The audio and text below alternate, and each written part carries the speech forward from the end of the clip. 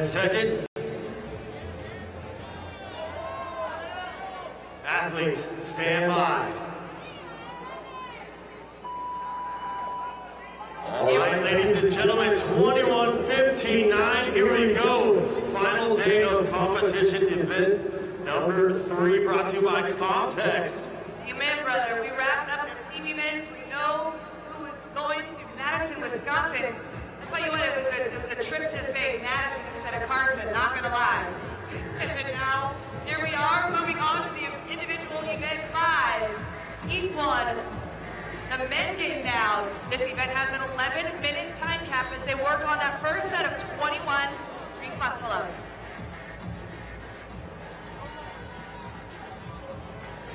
Getting things started here, a lot of these gentlemen chipping away here at the set of 21, 45 reps total here on the ring muscle ups.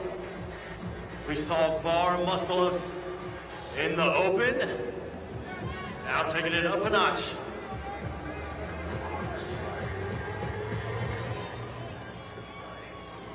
Aragasi judges hand in the air there in lane number four. Another hand goes in the air down there in lane number seven. Our Chalfoun.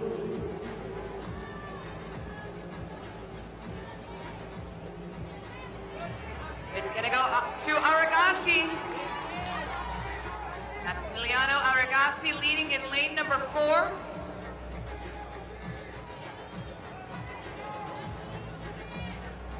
Richel right next to him. So your top two competitors right now. Find them right in center stage, lanes four and five. Once again, they're going to advance the dumbbell every seven reps here. Aragasi with a slight lead, but it looks like Richel trying to make a move here. Richel may try it again. Aragasi, that is right. Here comes Chalfoun. Pablo Chalfoun in lane number seven, approaching his dumbbell. That dumbbell is 80 pounds. They're going for the single arm dumbbell overhead squats, set of 21. Derek Peoples also at the dumbbell doing work.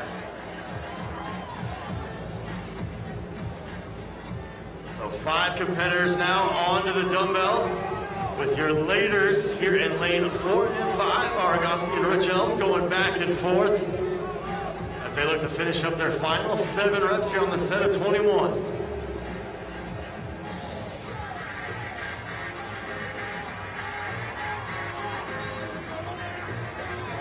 Kiki, we got an 11 minute cap on the workout. We are approaching the three minute mark. True story, if you're just joining us, this is day three, heat one, event five, presented by Compex at the South Regional, brought to you by Orasti.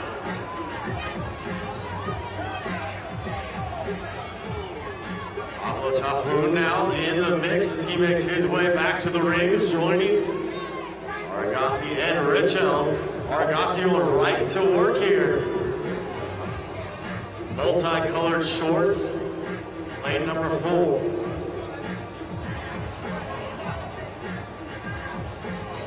These athletes fighting for that stability, fighting for that balance on these single arm dumbbell overhead squats. You'll see that lower body do some interesting things as they fight to get a few more reps before putting it down.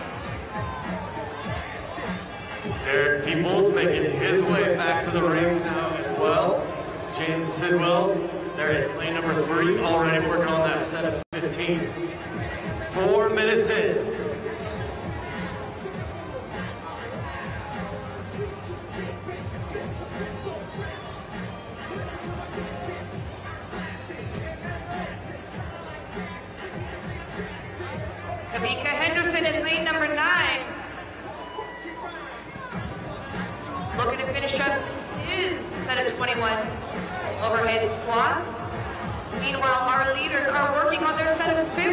15 muscle ups, 21, 15, 9.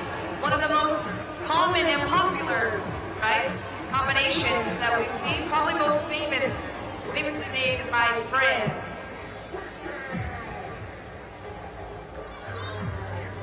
It looks like Rich Elm going to be our first athlete. Back to the dumbbell here as he begins his set of 15. Single arm dumbbell overhead squats, once again, 80 pounds. Away that dumbbell. And here he goes. Five minutes in, five minutes in, athletes.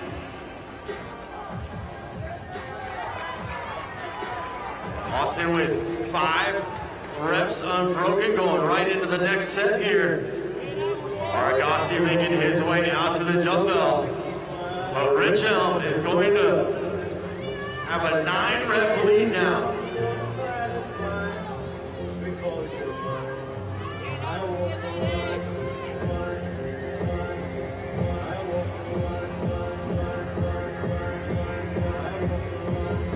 Rich Elman on his last set of five. Five of those single arm dumbbell overhead squats wrapped up. Moving into nine. Our leader right there, front and center in lane number five. So nine muscle ups, nine more squats. Stand between Rich Elm and the finish line as he chalks up and makes his way back to the Rogue rig. Argossi. Final five reps on the overhead squats for him in a set of 15.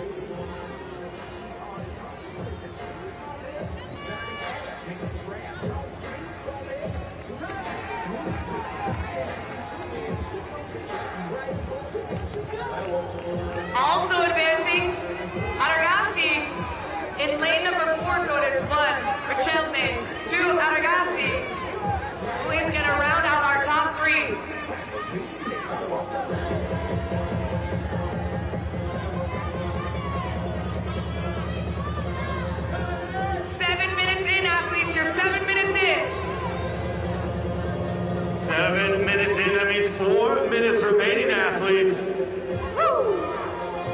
Austin, Richelli trying to get it done. They're in lane number five, right underneath the South Regional billboard, right above the Rogue rig there.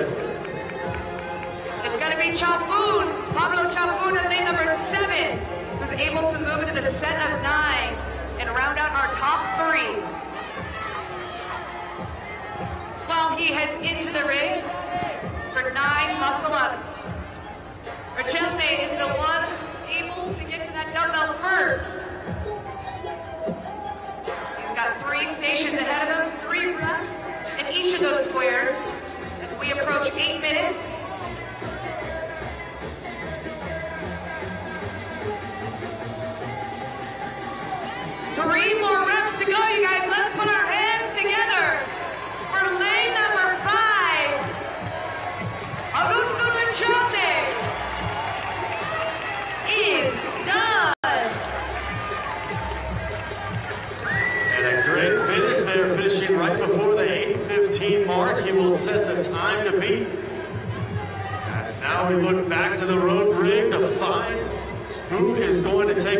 Second place.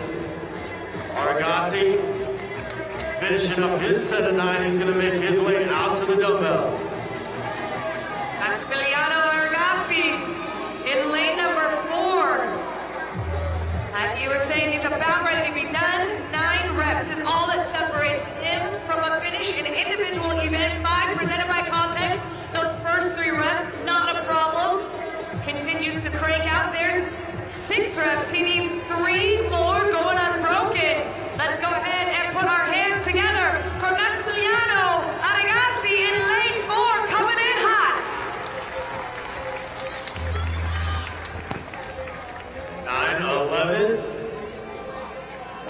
Argosy.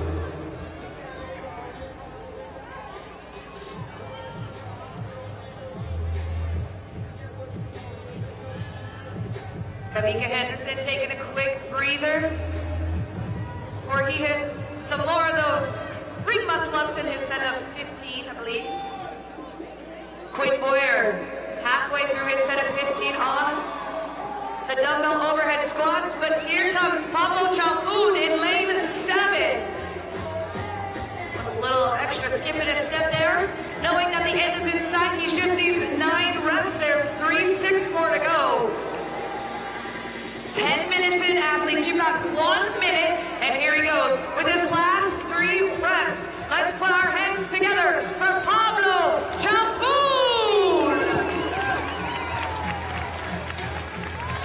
45 seconds.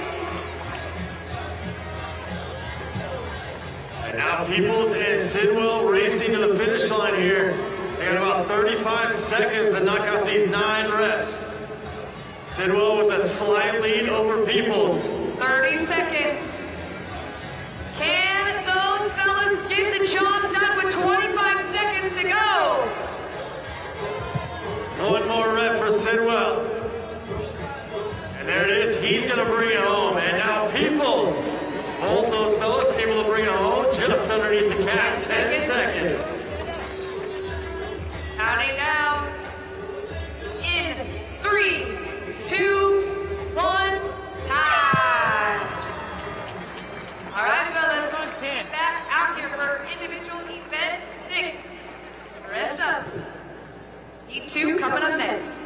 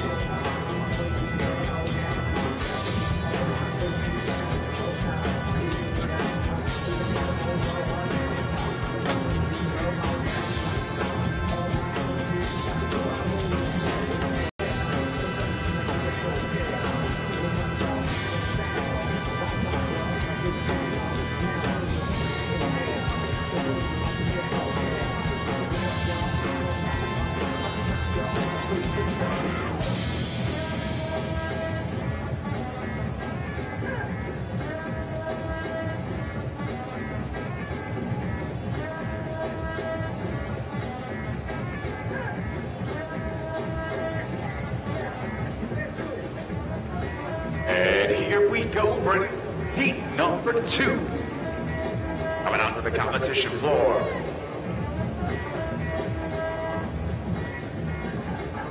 Again, this is event number five, presented by Compex.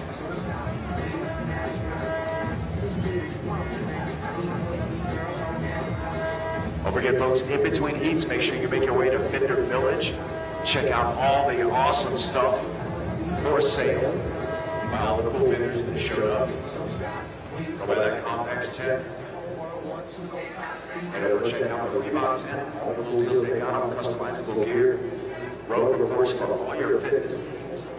Swing by 511, they told me just a minute ago that they sold out all the plate carriers, but you can order one at the sale price if you go over there before the end of the day. Got Heat 2 in place, ready to go. Gonna One minute. Introduce the fellas to you. Lane number one, Chance Ramos. Lane number two, Gabe Suave. Lane number three, Matt Morton. Lane number four, Scott Tetlow. Lane number five, Maximilian Vargas. Lane six, Gilson Duarte. Lane seven, Austin Garagala. Lane number eight, Taylor DiMaggio. And lane number nine, 30 seconds. rounding out this heat, Jordy Grimion.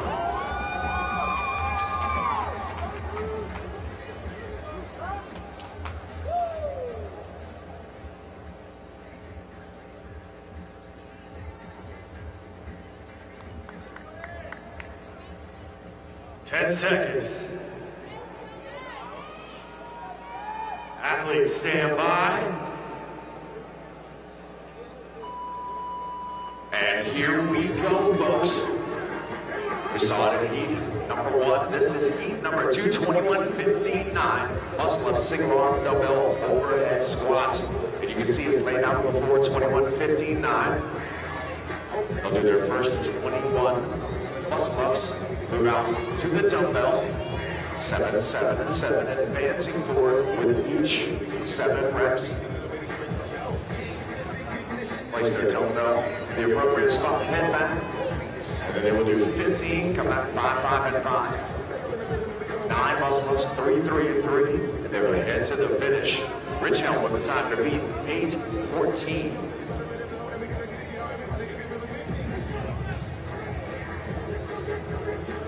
Larry, 45 reps total on the rings and the squats. Right now, chipping away at the first set of 21. I was very impressed with the last group. As to how quickly some of these guys were able to rip through all 21 reps. So we are just past the one minute mark. Once again, 11 minute cap. Looks like we got a couple of judges' hands in the air, Larry. Several judges' hands in the air. Jordy Grimion down to his last couple of reps as well. That looks like Duarte that's going to be the first to move forward in lane number six. And still in the air, Jordy Grimion finishing up next. Grimion, Duarte, now Tetlow, you're one, two, and three. Out there taking on the first set of overhead squats. Gilson with a slight lead now. Right center stage, lane number six. Grimion, not far behind down there in lane number nine. These guys find the flexibility, mobility, and balance getting locked in. Either walking forward with that dumbbell in their hand, overhead, or shouldering it walking forward. Both Duarte and Grimion looking to go unbroken on the 21. Duarte completing his 21st rep. He will move forward to the 15 rep marker and place the kettlebell, and so will Jordy. Vargas and Grimion heading back for 15 muscle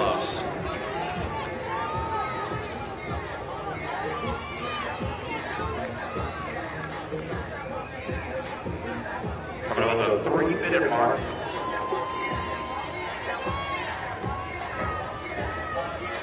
Gilson wasting no time, going right to work. A big set here out of the gate. On the set of 15. Scott Tetlow. Looking nice and smooth there with the black top. Olive shorts.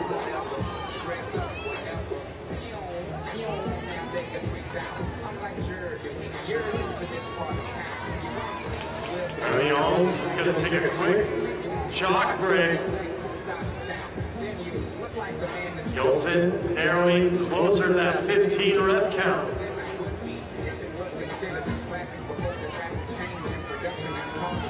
Coming up on four minutes again, time to be 8.14. Set in heat number one by Rich Hill. Again, this is event number five, presented by Compex. Whole of competition underway. Three more heats of individual men. These guys will have one core event later on this afternoon. It's going to be an exciting one. You guys don't want to miss it.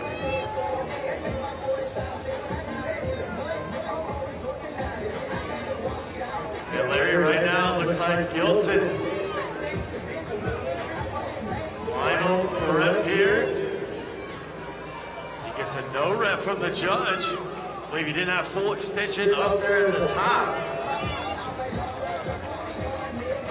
So Gilson's gonna take a quick break, but hop right back up and lock out that final rep. He's gonna make his way back to the dumbbell. About five minutes.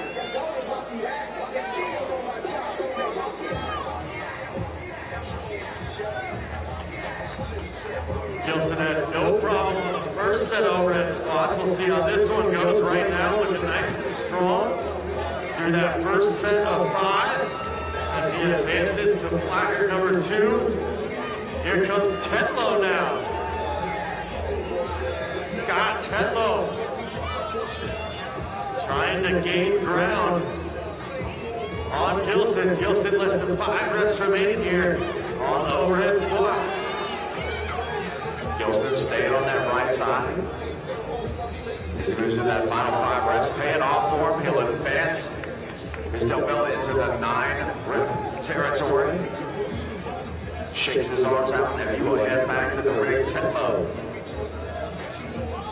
Digging into his last five at 15, Jordy Grimion. Moving through his first five, 10 to go.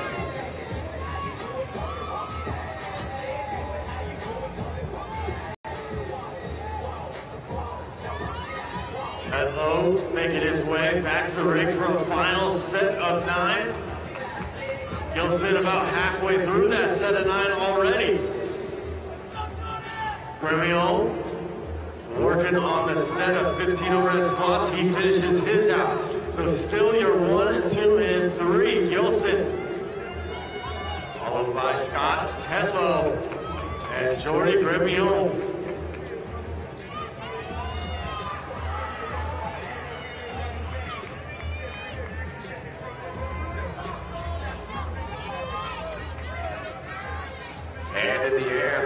For Duarte, right in the middle.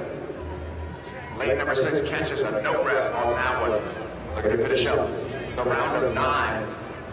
And then nine. Overhead squats today. Quick sprint to the finish. Time to be 8.14, just past the seven minute mark. 11 minute time cap on this event.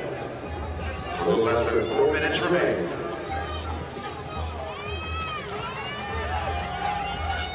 Joseph Duarte trying to finish out this final set of muscle ups. Scott Tetlow trying to catch Duarte. But now Gilson making his way. Play into the crowd a little bit on his way back out. Gilson, no problem on overhead squats thus far. Single arm dumbbell overhead squats. Three, three, and three will close it out for Gilson Duarte. 7.45 on the clock. It's on to be 8.14.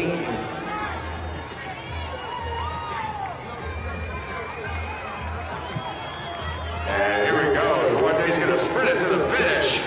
Just under that eight minute mark. Tetlow making his way. Squat snatch at the first one and going to work.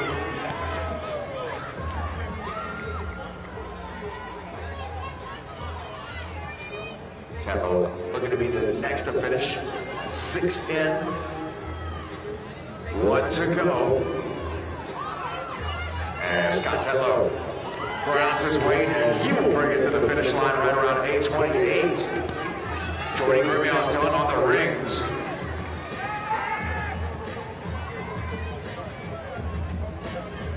And Larry, such an impressive workout here for these guys to be able to do such a high skill gymnastics movement.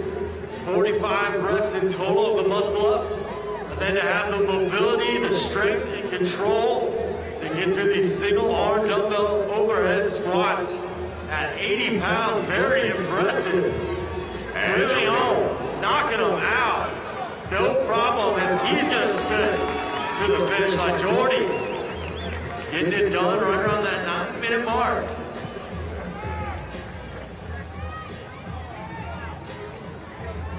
Jordy Grimion, excellent workout face because there's like six people taking pictures of your face. I just want to tell you. You, can, you can see the workout. He's wearing it right here. It's good stuff. 90 seconds here, athletes. DiMaggio right there, center stage. Finish it up another set on the dumbbell. Up on the one minute mark, folks. Who is going to be our next athlete to finish? Fellas, you got yourself 60 seconds on the clock.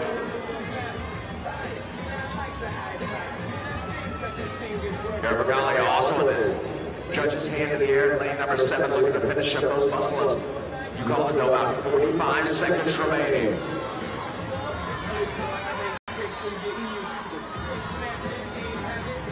Ramos, judge's hand in the air down here, as well as Matt.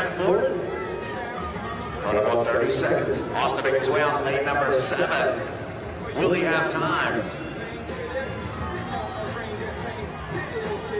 Folks, we're gonna keep an eye on the clock. 25 seconds and six reps remaining.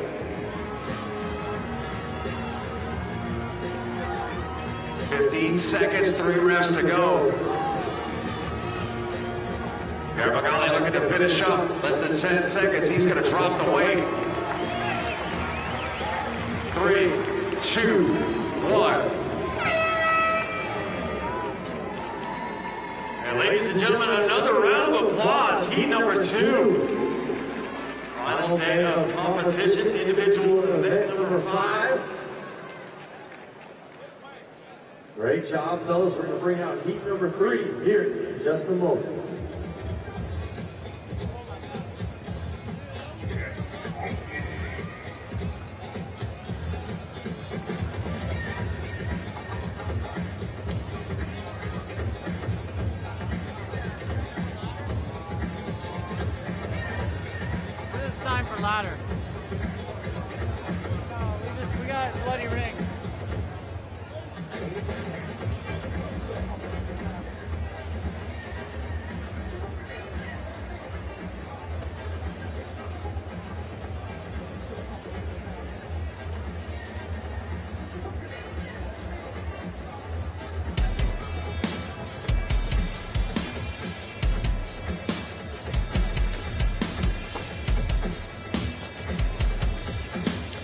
Beautiful day in downtown San Antonio, Texas. Here in the Alamo Dome, we now have five teams that are headed to Madison, Wisconsin. Before the day is out, we'll have five men and five women also making their trip to the CrossFit Games. I'm Jeff Breivel alongside James Hobart. We're getting set up for heat number three of event number five. And, you know, you kind of get the foundation on Friday and move a little bit on Saturday, but this is where it all comes together.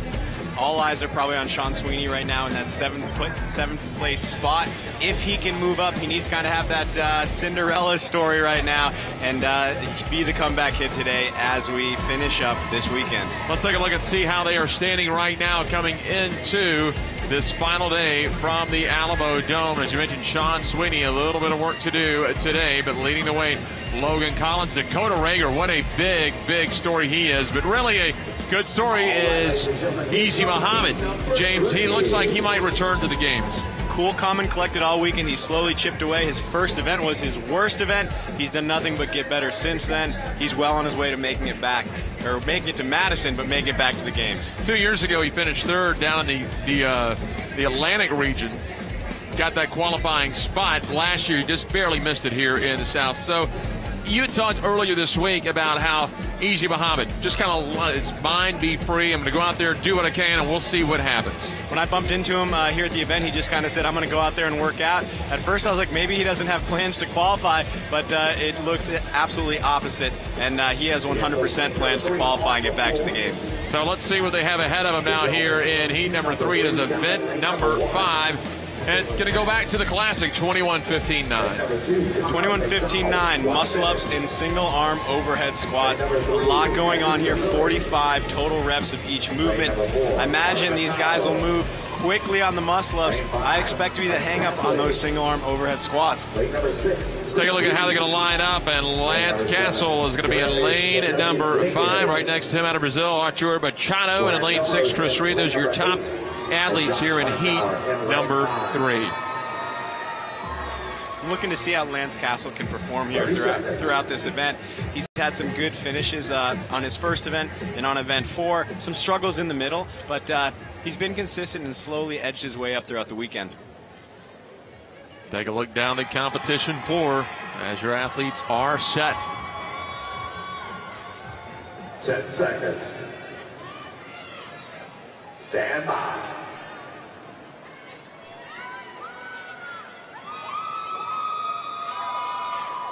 And they're underway here. Heat three of event number five. And right off the bat, we're going to take a look at Chris Reed at a CrossFit Lubbock in the black shirt. Next to him is Yerme Dominguez in the black shirt and the red shorts. It starts it off with 21 muscle ups. There's some strategy that these guys have to think about here. You know, 21 muscle ups, as far as volume goes, I don't think it's a huge challenge for a regional level athlete. But um, if they've tested this one out, they will find out that you're going to get out of breath fast. And it's not easy holding that dumbbell overhead when your arms are completely smoked from muscle ups. You know, at a 21 15 9, and a lot of us at, at, at your local box, your regular athletes, you're doing a 21 15 9, whether it's this or something like Fran. I like to tell them there's, there's not a pace. You want to go fast, but there is a strategy in how you go about that. You certainly want it to be quick, but again, like we've talked about in some other workouts this weekend, you don't want to hit that burnout pace. You know, again, muscle up is one of those special movements where once they disappear, they're not going to come back for a while. So again, we'll see how the athletes break these up, whether they do the fives, get it in three sevens. I like, and I'll, and I'll give credit to our our boss, our guy back at HQ, Sean Woodland, he's the one that kind of tipped me off watching one of his videos about do it in descending sets. If you're going to do sets of, if you're going to do the 21, going 8, 7, and a 6, that way you all has left less reps to look forward to as the reps move along. I think descending sets is a good way to look at it. I think um, you might even want to try to do some break up these earlier sets of the 21 and the 15. Maybe try and scrape that nine unbroken to try and sprint to the finish. That was Lance Castle, and you see his ring swinging because he is on his way to the single arm overhead squats.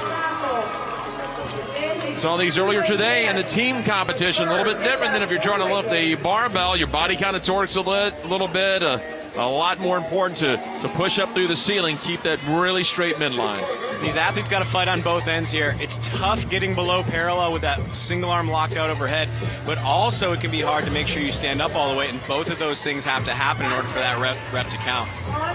Grant Belrose in the red top on the left. On the right side, Josh Latower.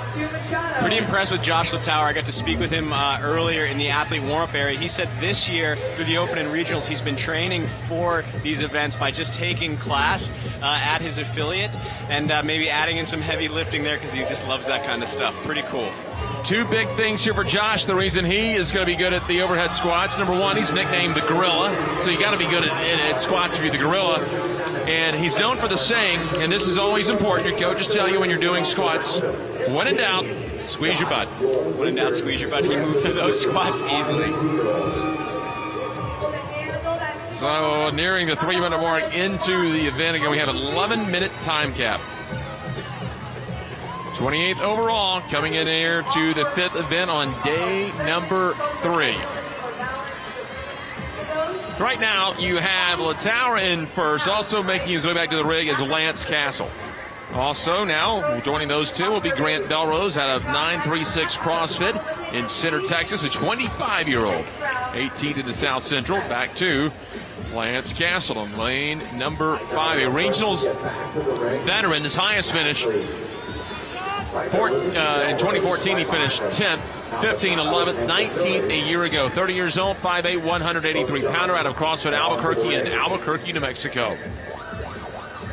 And all these guys making pretty easy work of the muscle ups. They're taking some breaks there. I don't expect, like I said, to see huge differences in their ability on the muscle ups. It's on those overhead squats where you're going to see guys like Josh and guys like Lance stand out. Get in your Camera view, that's Latower on the right side and Belrose in the red shirt. Belrose again out of Center, Texas, coming into event 5, 26 overall.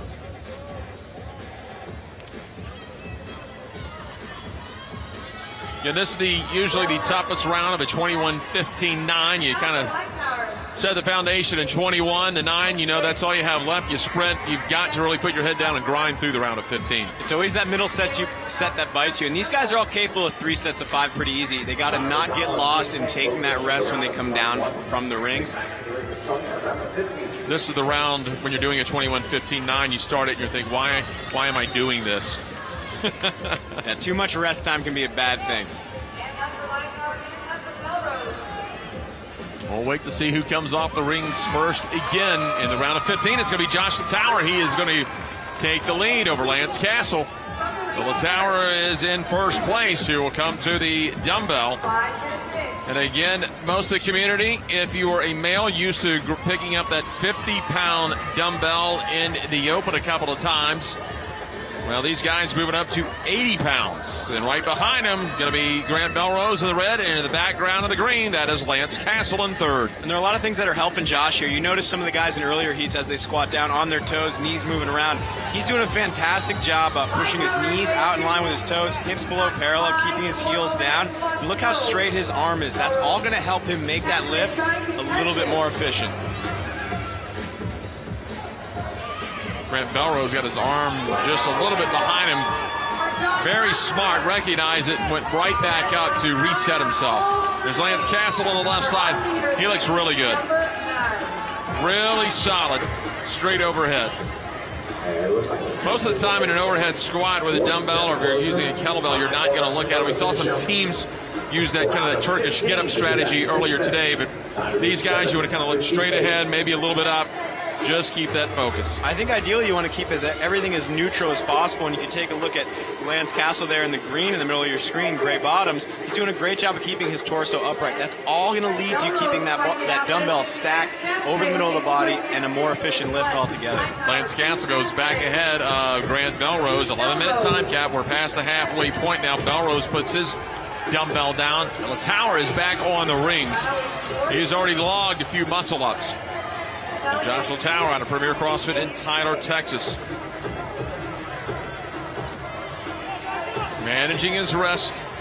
And you could, you could tell the difference between managing a rest and being crushed. He was sitting down calmly, probably counting in his head. He wasn't doubled over and heaving in the in the lungs or anything. He knows the spacing he needs to take. And he must know some plan that we don't. It can be useful to look at things like the clock to time your rest. You can get way too carried away with things like chalking up your hands and spending time away from the rings.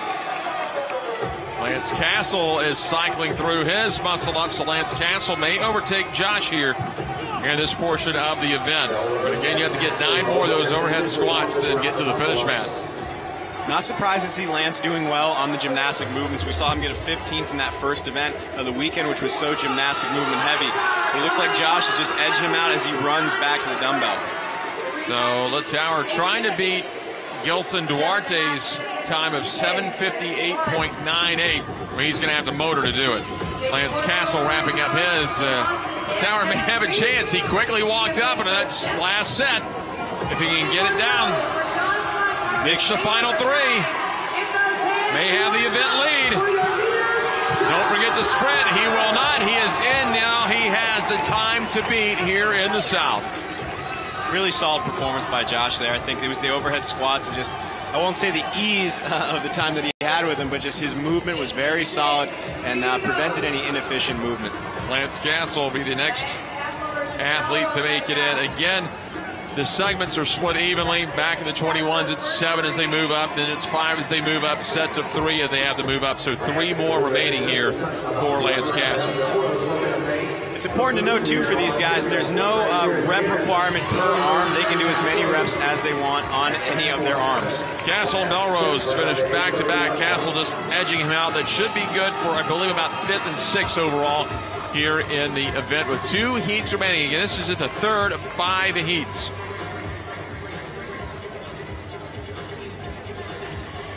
Now we'll check in on Chris Reed in lane number six and Guillermo Dominguez in lane number seven. Both in the black tops, Dominguez in the red bottoms, Reed in the gray bottoms. Reed had a CrossFit Lubbock. Dominguez was at a CrossFit Iron Soldier in Rio Grande do Sul, Brazil, regionals a year ago. He finished 34, so Dominguez has a strong day. He can improve on what he did a season ago. He's got to stay diligent on those rings. Reed is catching right up to him. Reed, maybe a little tear on his hands there. You see him look down at his palm, wipe his palm on his pants, and go back to the chalk. Lane number four, Artur Machado, eighth out of the Latin American region. He comes from Santa Catarina, Brazil. 25 year old, 16th in the Sally a year ago. That was a big jump on his 41st place finish back in 2015. He's still got a lot of room for improvement at just 25. He's still got a lot of good years left in the open division. So Machado is across. Cifelli was right behind us. So Machado in at 9.46. He has one event remaining here for the weekend. Three reps to go. Lane number three, Andrew Cifelli out of Zero Machine CrossFit. One of three athletes coming in this weekend out of Zero Machine CrossFit. Clearly, they're doing something right down at that gym as we watch him trot over the finish mat. 10.04 as he is in.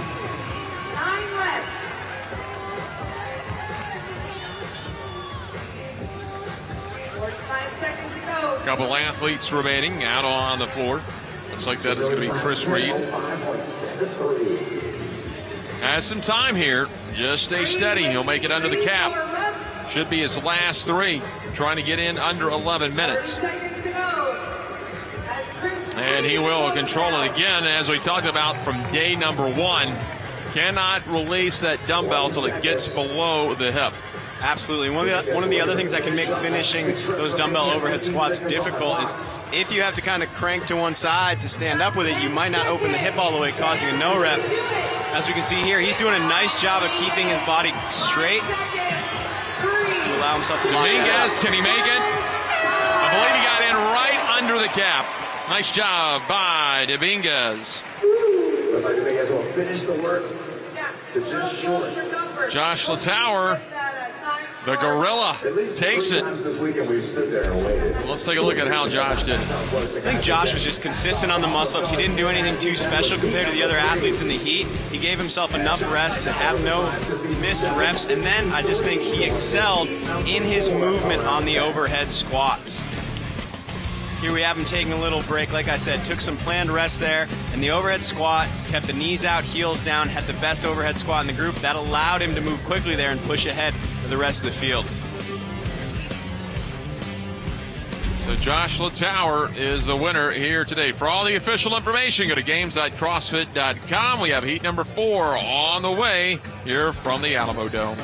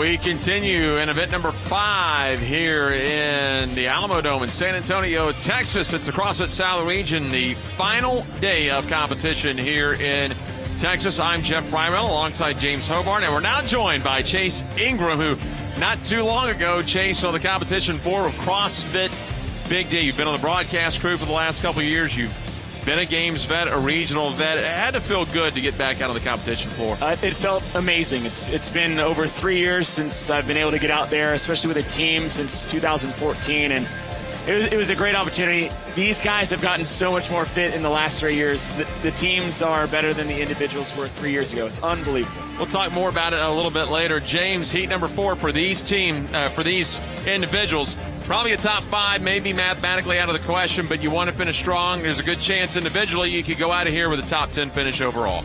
Yeah, I've been really uh, focusing on Cooper Wise, young athlete, 22 years old, and had some really strong finishes here. A couple top 10 finishes and some other strong finishes. Struggled in the uh, kettlebell deadlift yesterday. I expect him with his gymnastic capability to do some good things here today. Let's take a look at how this event will play out here. And it's going to be classic 21 15 9. 21-15-9 muscle ups, single arm overhead squats. As we've seen in the preceding heats, it's not the muscle ups that present the challenge. We're seeing a lot of athletes break those up. It's can they move well and avoid no reps on those single arm overhead squats. That's what they have ahead of them, and here's how they line up. And James, you mentioned you want to keep an eye on lane number five and Cooper Wise. He's had a fifth, a 12th, and 11th. A little bit of struggle on that event uh, for yesterday, but I think he's just done a really good job as a young guy coming into the regionals and performing consistently. I'll be interested to watch Jared Enderton in lane number six. We know he's had the strength numbers before. The dumbbell will be no issue. How much has moving his body improved? Gymnastics ability on these rings. Underway the round of 21 and the 21 15 9. Talked to James about it earlier, Chase. I know when you're coaching uh, your athletes in CrossFit Big D, if it's a 21 15 9, you probably tell them a little bit what I tell some athletes. There's not a pace in this. You're going fast, but there definitely is a strategy about how you attack it. Well, I think the first thing off the bat is you see 21 15 9 and you immediately, immediately think we got to go fast. And we compare this to event number two. Event number two was a sprint. You got strict or you got ring dips and dumbbell snatches. This one, though, it's very similar. We're talking muscle ups, 45 total. That is a lot. That's the most muscle ups we've seen for individuals since the games at 2014. And now we're taking that dumbbell snatch and making it overhead squat. So though the reps might be short in terms of volume, the difficulty of these reps are very challenging. Jared Enderton right below you on your screen as he'll come back in here in just a second. Lane number five, that's Cooper Wise out of Loveland, Colorado. And NoCo CrossFit played football at Wyoming. He was a quarterback for the Wyoming Cowboys. Then we'll see who comes off first here. This will be the you know, usually you would say if it had muscle ups, it would be the slower part of the uh, event, but you have to be pretty steady on those overhead squats as well on the one arm dumbbells. And I bet on its own, a lot of these guys could get 21 muscle ups in a single set, if not two sets, and you're probably seeing some deliberate uh, splits here so they can save some energy on those dumbbell overhead squats. Alan Garcia, a little shaky there, lane number seven on the black top. Here comes Jared Enderton. He looks like he's definitely improved on the gymnastics. And here's where Jared Enderton can really separate himself. Well, the guy can move a barbell just as good as pretty much anybody here in the South. And, you know, when you have that proficiency in movement there on the left side of your screen, the dumbbell isn't going to pose an issue. But his issues in the past have been endurance through fatigue in these short sprint workouts and then just keeping his lungs, uh, you know, in check and not getting, letting the workout get too far ahead of him. Another athlete we're watching off to the right in the tights and the dark gray shirt. That's Marcelo Bruno. He was hanging around that top 10, top 5 early this week, and he's fallen off pace. But if he can finish with a top 10, it's his first regional. He's going to have a lot of momentum coming into next season. He's that athlete that we've always heard a ton about, has been injured, has not been able to make it to regionals. He's gained a ton of experience. Next year could be the big year he really blows up. What's really interesting about this, too, is how strong we know Marcelo Bruno is through his Olympic lifting background, his numbers uh, in the open performances. This dumbbell is a toy for him, but it, he looks like he's struggling and having to move slow because it's just not in the perfect position for him. I think the hard thing for Marcelo Bruno is you, you mentioned two words. You know, experience is one that he needs to get. But the hardest thing for a lot of athletes is coming in with expectations. And when you have the number one seed coming out of South having a fantastic open, the guy's a phenomenal athlete, but coming in with such high expectations, Bruno and Brenda Castro as well on the women's side, that's a hard thing to walk into for your first regional it's definitely one of those things too that can kind of pull you out of your own race. You know, and I saw uh, Marcelo Bruno in that first event, kind of looking a lot left to right, trying to pace himself off other athletes, and maybe that sucked him into a, a hole in his speed that he didn't want or need to do. That's something he'll learn coming back for next year. Right now, it is Enderton with the lead, Cooper Wise in second place, and Alan Garcia currently in third, and now everyone going to get to the rig for their set of 15. And here's the put your head down, grind it segment, the 15, where most people are thinking, what have I got myself into if you're just at the gym? I think James said it best is that these guys are great at muscle ups. You don't get here and not be great at ring muscle ups, but this isn't the 15 pull ups in the middle of Fran. This isn't the put your nose down time. You got to be smart with breaking those reps up. You see some guys looking back at the clock, just trying to find themselves a consistent rest period because you can get lost in that. That's the other problem too. Hey, I don't want to burn out on muscle ups for the overhead squats, but you can waste way too much time there. Time to beat here in the South right now, 753.17. Josh Tower just set at the heat prior to us. See if Wise can get off of these rings first. Enderton right next to him, rep for rep. This is really where you have to not look left to right. You've got to know yourself. You jump up there too soon. Instead of maybe taking extra three seconds on rest, then you're at another 45 seconds before you're able to get up there and get that muscle up. Now, I know this is heat four. We do have the top 10 out of the first two days coming up in heat number five, but these athletes are imperative for those guys sitting on the outside looking in. Sean Sweeney specifically, who definitely wants to make up for what happened in event number two. So these guys' times are super important when you need guys to get in between you and those top five. So just keep an eye on the you know the best time at 7:53 by Latauer in the previous heat. These guys have a vital role in what happens in the top five. Here comes Enderton and Wise, your top two. Enderton, and they get their hands on the dumbbell at the same time. I think that was smart by both athletes there. Some athletes I saw earlier trying to one hand snatch it. They both kind of gave it a two hand assist to get that dumbbell overhead. Again, really nice way to make things a little bit easier for yourself. These guys are rep and rep. synchronized all the way up. They, they can make a great two-person team there. The squats are on point. They walk up at the same time, get right back in the bottom of the squat. See the advantage for Enderton, who moves so well with weight, right? It doesn't have to be a barbell. If you've got the weightlifting and is moving, you know, an external object with your body, Enderton has the advantage, but can he not get too far ahead of himself on the nine? Enderton the first to start the jog back, but he'll slow down as Wise will catch up with him. So they've got 18 total reps remaining, nine of each. There's Marcelo Bruno again, the great top and the tights just to the left of your screen. That's Alan Garcia right now that's holding steady in the top three. As we now are six and a half minutes in. Back in lane number two, it's Matt Strand out of CrossFit Regulus in Reno, Nevada. He was on Timberwolf CrossFit's team a year ago. They were 29th in Carson. His last time he was in as an individual, he was 25th in the North Central back in 2014. A member of the U.S. ski team from 09 to 2013. And I think I just saw Enderton take a no rep there. That could be pretty costly for him as he tries to chase down Cooper Wise. I'm surprised his muscle ups have looked really good so far. He's had a really nice, tight, compact kip, and he's been pretty consistent about making sure that lockout at the top, the arms have to be straight. He's been making sure that happens. So I don't know why he got that no rep. The race is right here. Wise in lane five to your left. Enderton in the middle of the white shirt. Then off to the right is going to be Alan Garcia. That's one, two, three in this heat. And again, Matt Strand over lane two hanging around. But it's Enderton who has got the hand up. And now Wise with a hand up. So they are five or fewer reps remaining here in the last round. So notice how Enderton keeps everything so close. Rings close to his body, feet tight together, drives his heels up towards his butt after he lands in the bottom of the dip to kip to the top of the dip. Cooper here having a little bit more trouble. A little more body weight movement there, but he's fighting hard to finish off these reps so he can. And we saw that missed rep. He didn't keep those rings in close enough. Alan Garcia also just hanging around. He is under five reps. Garcia in the black top, blue shorts. Enderton right in the middle of your screen in the white shirt. And there he goes. It is going to be Cooper Wise. All the way to the dumbbell. Nine reps left. His aggressive strategy on those muscle ups paid off. Even though he got that missed rep, he was able to uh, pull through and get to those dumbbell overhead squats first. Here we go. Lane number two. Matt Strand on the left. You got Cooper Wise on the right.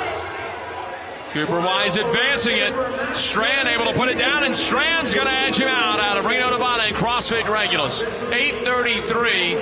And here comes Cooper Wise of Enderton. Behind him, Enderton should be the next athlete in. And that can happen so often in these events. And, you know, if the guy next to you, you guys are neck and neck, you think you're in the lead, and that's what you hear on the commentary. It's not always the case. We saw Matt Strand just kind of cool, calm, collected, chip his way into that uh, that top heat finish right there.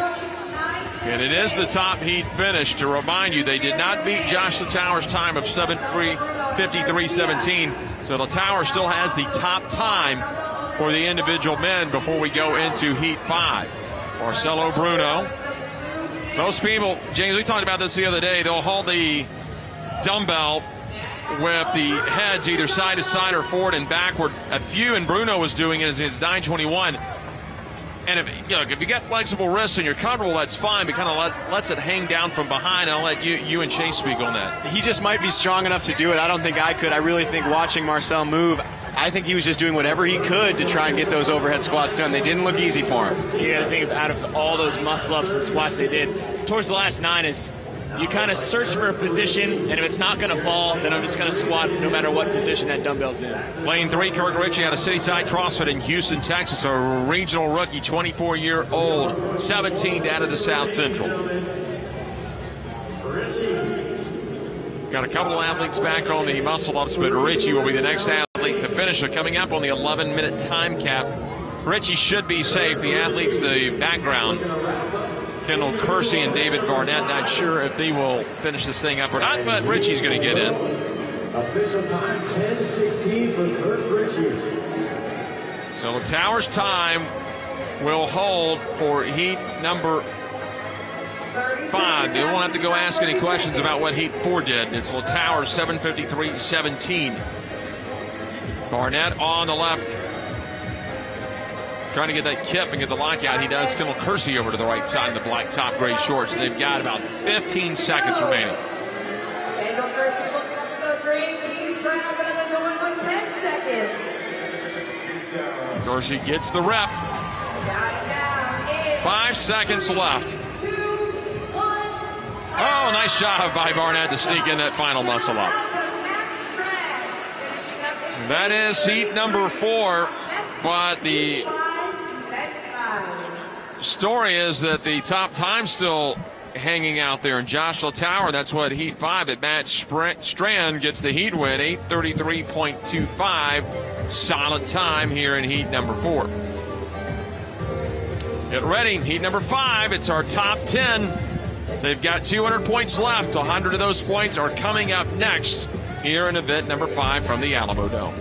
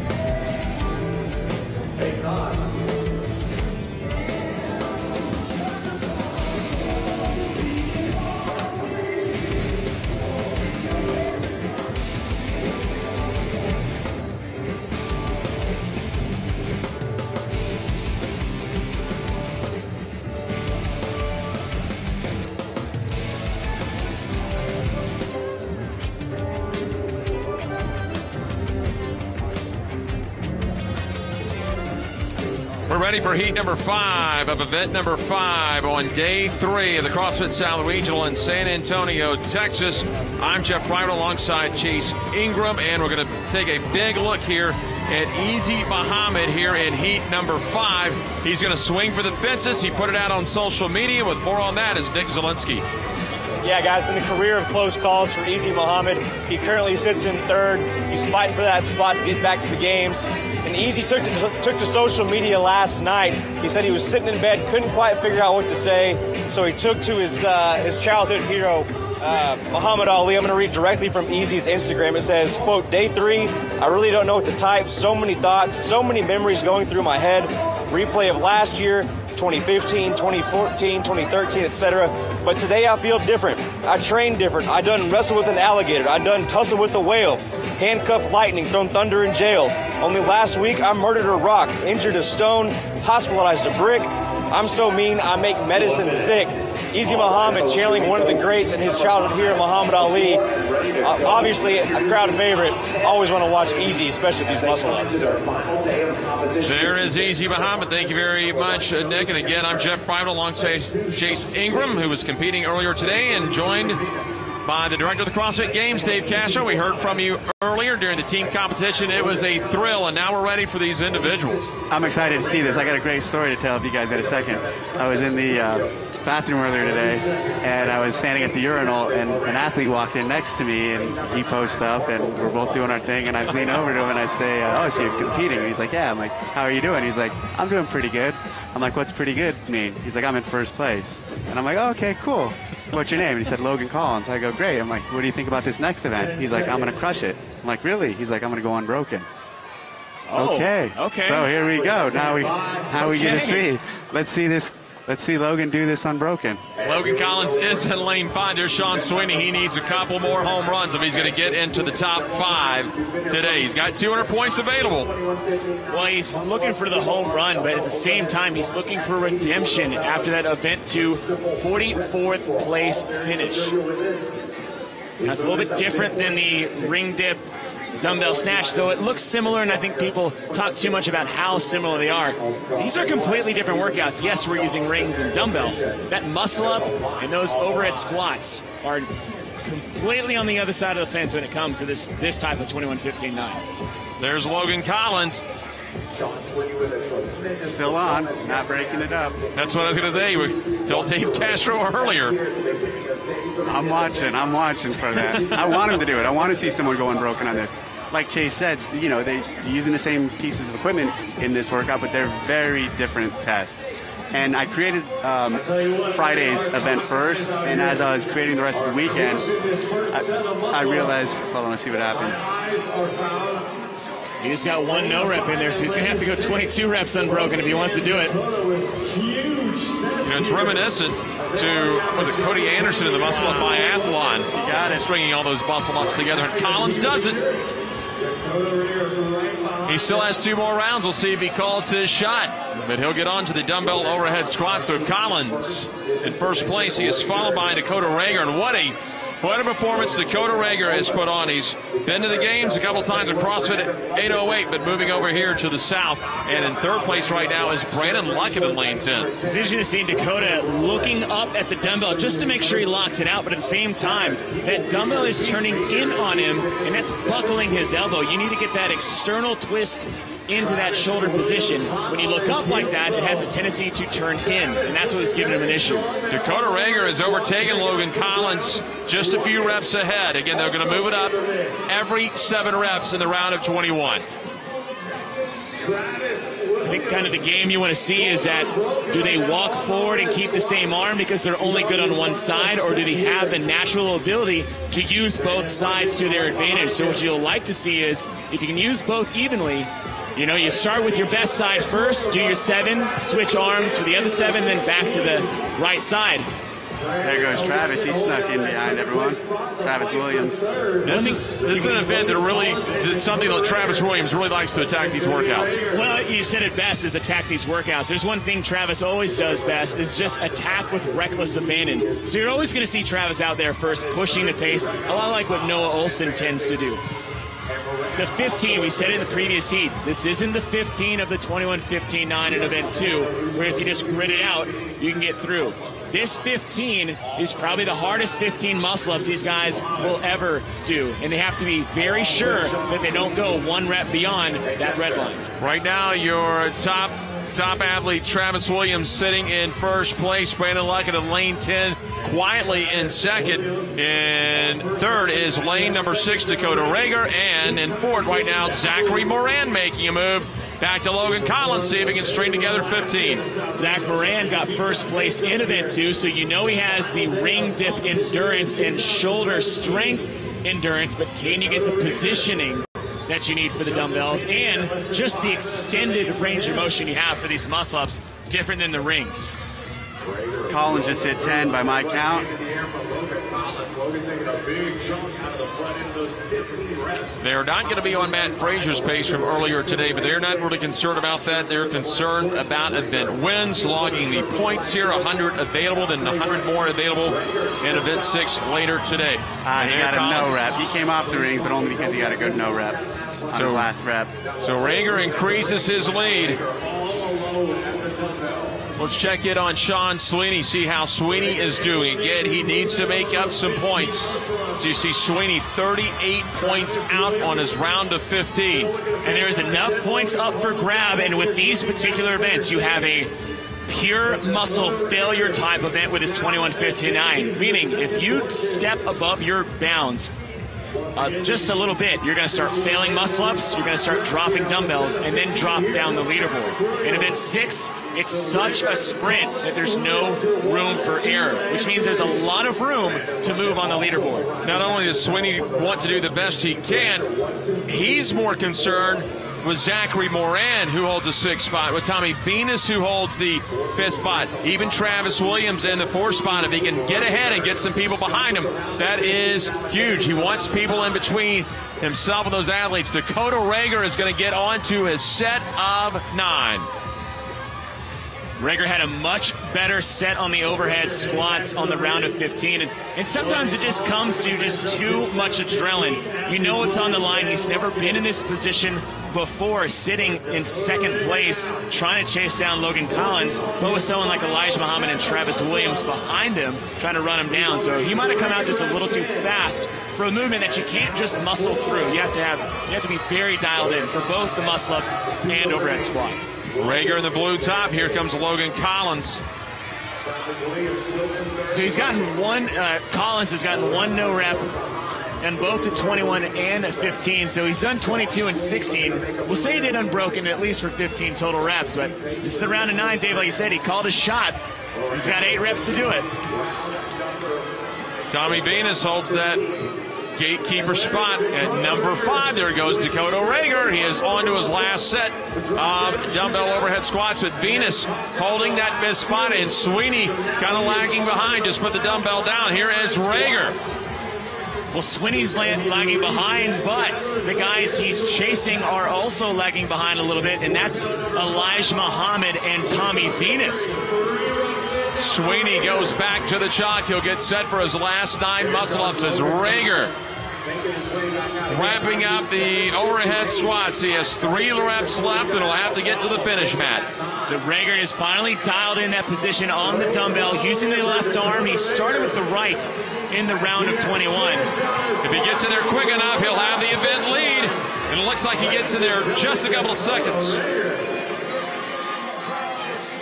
So Rager is in. He will win the heat. And he is now he smashes Latauer's time by a minute. We'll wait for the official time. Logan Collins trying to wrap it up. His time will be good enough to have second overall in the event as well. And that's all he needs. He's sitting in first place with a very comfortable lead, over 30 points on Rager. So he's only going to lose five, so that the gap closes just a little bit. I would have liked to have seen a little more hustle from Collins. I think th- he he walked a lot between transitions, and at this stage in the game, and when you're doing this well, you need to make a statement, and he needs to show that he's hungry. And I honestly, he did great doing those sets unbroken, you know, minus the no reps, but I didn't see hunger or a fight there. That I'd like to. Hopefully, we'll see that on the next event from him. Even though he's got this sealed up, he still needs to have the attack of a champion. You know what I'm saying? I think you see a lot of that sometimes with athletes that are doing so well at regionals, they don't take the pressure and the fire to the games, and you see him kind of trip up there. Sweeney Yeah, Logan actually went to the games last year. He finished in the 30s. There goes Sweeney again, trying to finish it up, and he will. Now, Sweeney, this is going to be important. We'll see. 807 unofficially. Moran, and that is a guy he is watching right now. He gets ahead of Moran. Now, Vinas still out of the competition for. Sweeney wants Vinas out there as long as he can. Well, because it's not just this heat. Now we're creeping up into the 830s. We have three athletes at the 830 mark. So Sweeney 30 points out of that. He's trying to topple over Vinas, uh, Travis Williams, who is in fourth, but it's so close together with Elijah Muhammad in there as well. And he just got to the dumbbells. And we're watching the leaderboard here as the times continue to fall. 848 will fall past 12. 854. So he is going to fall all the way behind Jared Enderton, who coming into this event was 12th overall. So Sweeney just should have closed the gap a whole lot. He's given himself a chance, it looks like, for event number six later today. Elijah Muhammad is doing everything he can to get through. You know, he's had a tough day three the last couple of years especially that costly rope climb he had last year here at the South. But this just tightened up everything at the top five. And if you want you want to see a show and a sprint, the last event's the perfect one to showcase how bad these guys are going to want it going in. Uh, that's going to sit easy down there, somewhere around 18, 19, 20 overall in this event. The last one's going to show us who has the heart of a lion and who really wants to go to the game and who wants to be a champion. And it, I think those those movements are good for easy. Maybe not the burpee box jump. Maybe the burpee will be, you know. Uh, hat. Uh, they'll tax him a little, but he should excel on the other components of it. And again, now if he wants to go to that place where it really hurts, he can do it there. We were talking earlier, in fact, off air. I love the events you, you put out here for, for this final day because there's no events where you can go, you know, Chase and I are competing, he's going to smash me anyway, but I couldn't say, well, you know, Chase is great at rope climbs and leg lifts, or you're just great at muscle ups it's all about, like you said, uh, go to the dark place and go, go, go. Yep. If it, if it comes down to that, watch out for Sean Sweeney. If it's all about trying to get gridded down, who wants it more? This guy's come back from that 44th place finish with top five finishes in his last three events, barring this one. Look out for Sweeney in event six. Well, there is the time cap as the event is now over and get set for event number six. And we're going to have individual women coming up as well. Again, I'm Jeff Pryor alongside Chase Ingram, joined by the director of the CrossFit Games, Dave Castro. We're getting everything we want, and we saw how Rager did it here. Well, he had a little bit of a trouble in the first set of 21, but he did very well on the set of rings after he got that set uh, done. He, he calmed down, got things dialed in, especially with that dumbbell position. Looking at, but kind of cost him when he was on his right side he found a sweet spot on his left side, and that got him the event win. And the winner is with Nick. Dakota Rager busting onto the scene as an individual here in the South region. Did you have an idea you would be in this position coming into the weekend? Uh, no, I really didn't have a clue. Uh, I'm really happy that I am, obviously, but knew that, that when Dave Castro announced the workouts, I knew that it was going to be a pretty reasonably good year for me. Um, I like gymnastics movements, obviously, and then the no barbell thing works out. I'm a little bit better with a dumbbell for whatever reason it might be. Uh, but I'm just really happy to be where I am and one more to go.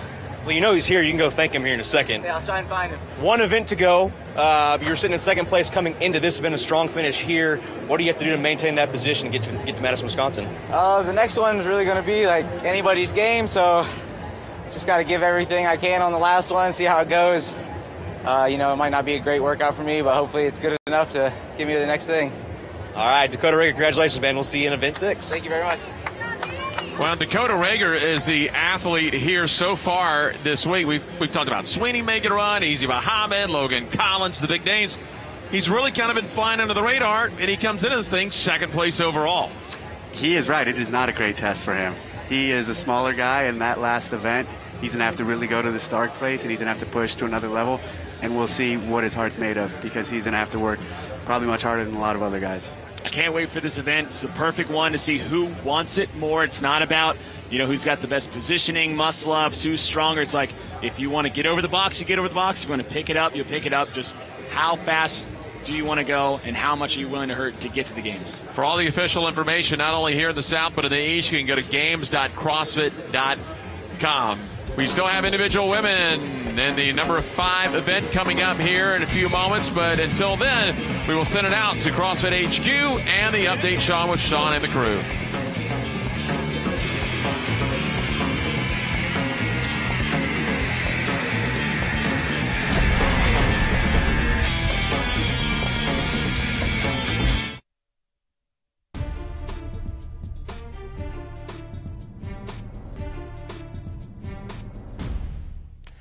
Dakota Rager gets his second event win of regionals. Sean Sweeney is going to creep up the leaderboard a little bit, and we have set ourselves up for an exciting finish in event six in the South. Hi, everybody. Welcome back inside the CrossFit Update studios. Sean Woodland with Andy Sakamoto and Pat Sherwood. Logan Collins goes out, calls his shot, does not win the event, but still comfortably in the overall lead heading into event six. And this is his MO, right? Has not won a single solitary event, five events in but again, if you're a student of the CrossFit game, this is quintessentially what you need to do to be a well-rounded athlete. He can do it all regardless of what we're throwing at him. And I'm really impressed. You mentioned Sean Sweeney. You know, after that 44th place on the uh, ring dip workout, the second workout, he has made such a statement by coming back, creeping his way back up, and he could be in a qualifying position now. We want to get you caught up on what's going on in Albany, New York, in the East Regional. The individuals there are through five events. Katrin Davidsdottir coming in in second place to event five to that woman, Carol Ann Reason Thibault. And Carol Ann Reason Thibault was not going to give up any ground. Meanwhile, Chelsea Hughes was trying to hold off Dyson. And Dyson was in sixth place coming in, trying to get into the top five. But it is Carol Ann Reason Thibault who smokes the competition. She wins the event. Hughes would finish in seventh. Dyson takes ninth, and Katrin Davidsdottir will take 10th. But Chelsea Hughes solidifying a spot in the top five.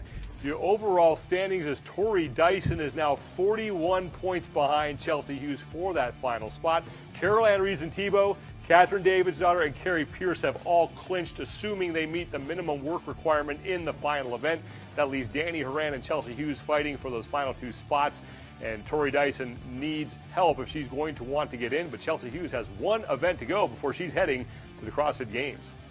You mentioned before this event that your mental game has really improved by leaps and bounds over the past couple of years. What exactly have you been working on? I don't know that it's, I can attribute to my own uh, things that I've been working on. I think life just comes at you and it's how you respond. So, like I was mentioning earlier, uh, life experiences matured me and I brought that into my CrossFit game and mentality. And so I don't have a specific thing for you, but just all around life and maturity has helped me grow a lot on the, on the competition floor. Well, it worked. Chelsea Hughes. Chelsea Hughes not out of the woods yet, but looking very good as she heads into event number six. And this is an athlete that's been trying to go to the games as an individual for several years. She's made it before as part of Brick Nation on the team, but never on her own accord. And it looks like you know, we've got a little bit of competition remaining, but it looks like she's doing exactly what she needs to do. Let's go to the women's competition in the South. They are now getting set for event number five. The Same thing that we just watched uh, with the men. Who are the athletes you are most interested in watching here in event number five? Okay, well, event number five, we've got 45 ring muscle ups going down. How could you not be watching Camille LeBlanc Bazinet, right? But then again, Tennil Reed is in the lead, so I, I can't wait to see those two battle it out. But I will be focusing on Margot Alvarez. So she is in the top five right now after making her way back in yesterday. She's not completely safe. She's comfortable. She's got 301 points, but that's just eight points away from sixth place. So there's still a lot on the line. She's been to the games four times, a 100% veteran, so she has the mentality to get through this.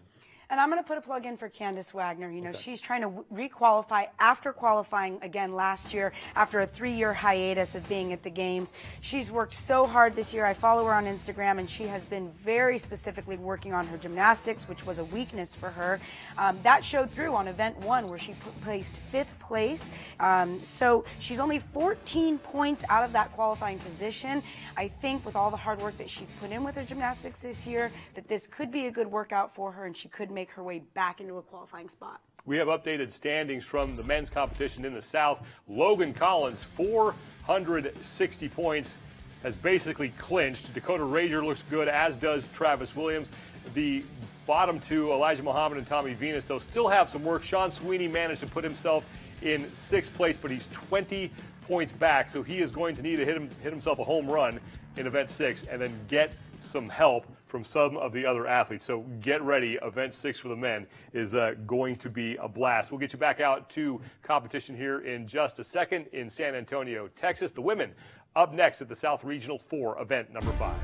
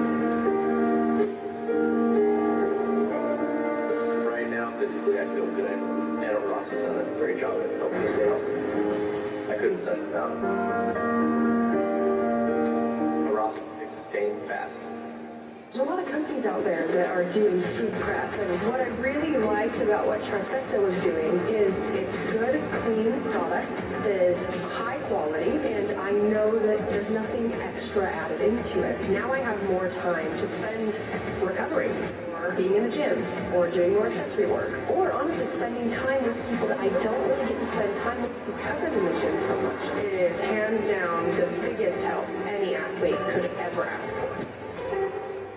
Between our first breath and our last, we're shaped by how hard we push, flip, fly, and hang. But as our bodies change, so do we. We become braver, kinder, closer. We become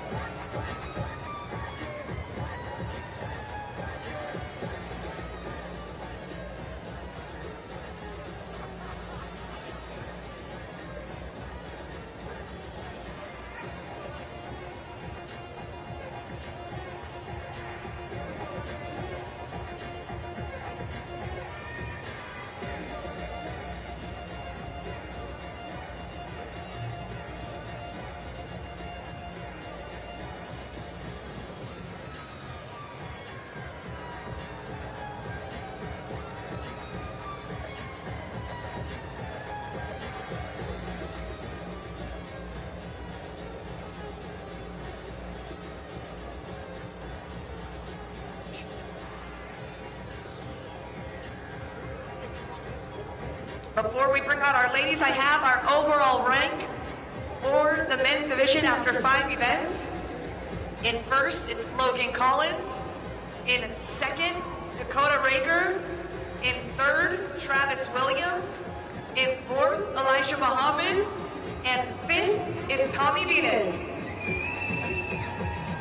Sitting just outside the top five is Sean Sweeney. He's 20 points out of ranking in the top five.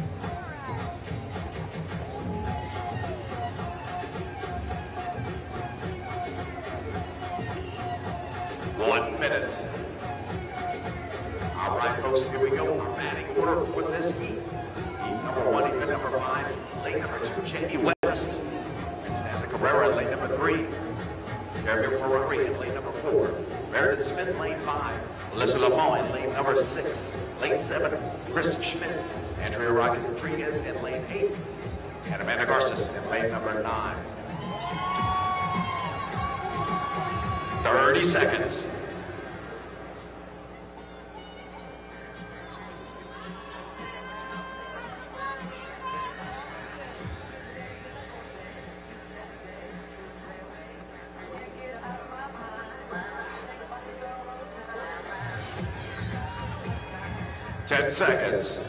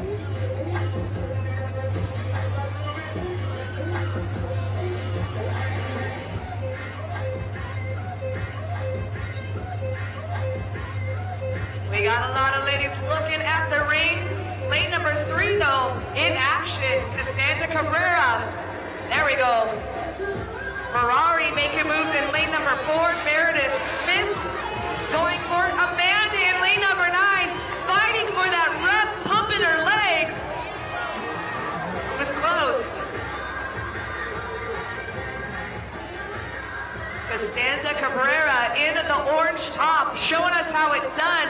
Her judge's hand is up in the air, letting us know that she's got less than five reps to go in lane number three, Costanza Cabrera.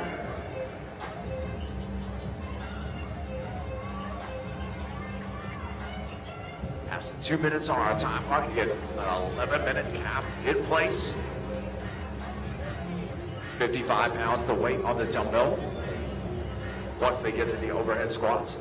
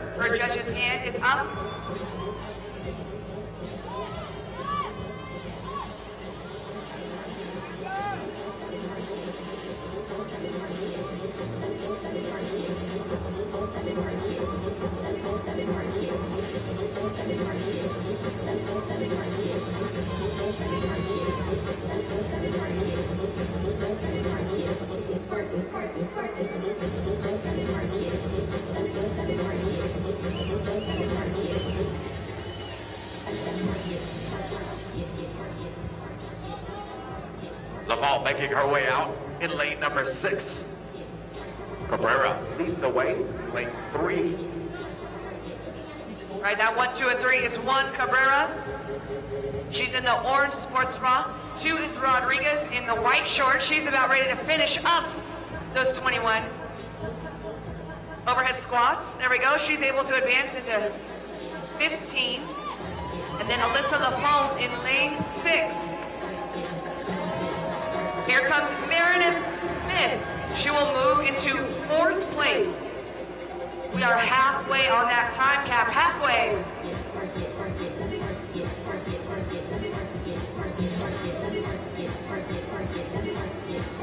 Now keep in mind, Dave Castro certainly gave us a hint this open season, right? That he was feeling the dumbbells. The difference here on the regional competition floor, the ladies are working with what the men's weight was in the open. So the guys handles 55 pounds in the open, come to regionals, and the ladies have been prescribed 55 pounds, taking it up a notch as Alyssa Lafont moves into her set of 15.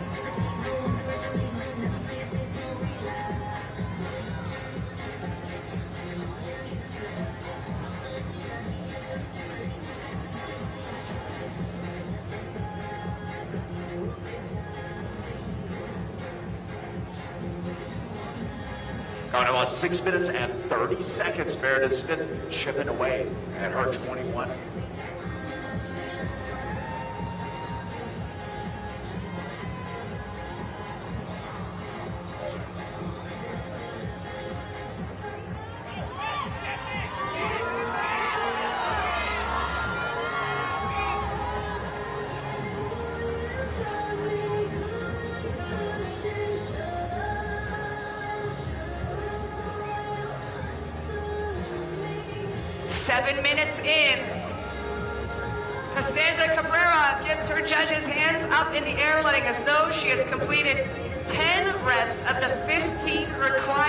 This round.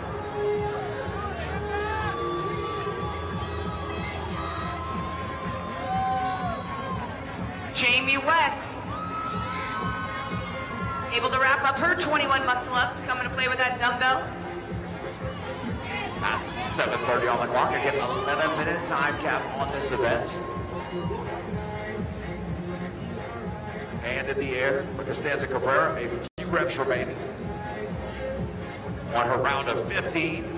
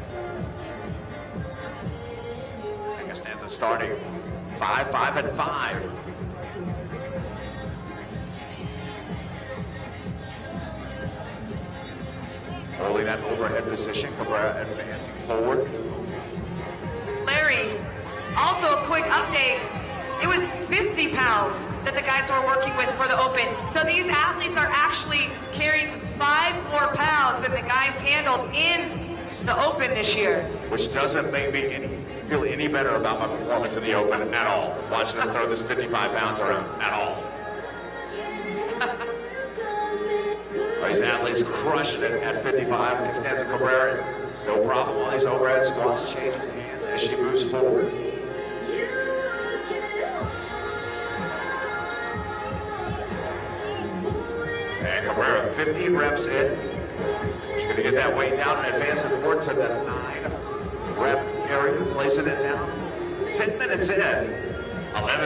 cap. We'll have one minute remaining.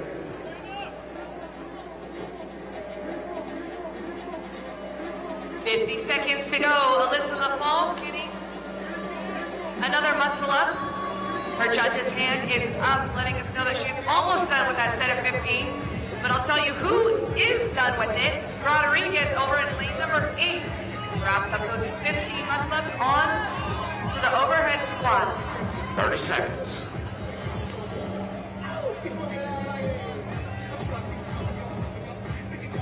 Rodriguez and LaFont duking it out. 20 seconds.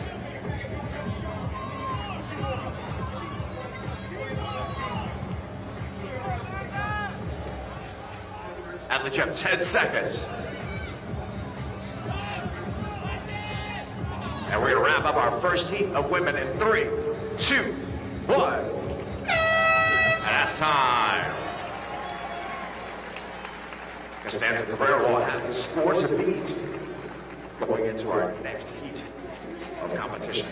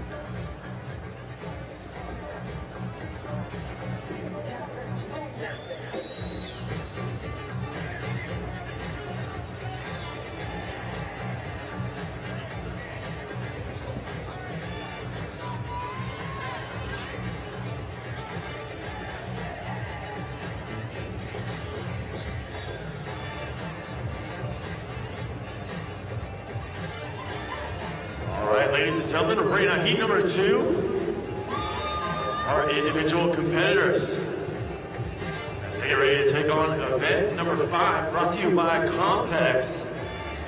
Make sure to head over to their booth for all your recovery needs. Twenty-one fifteen nine muscle-ups and single-arm dumbbell squats. Coming up here in just a moment.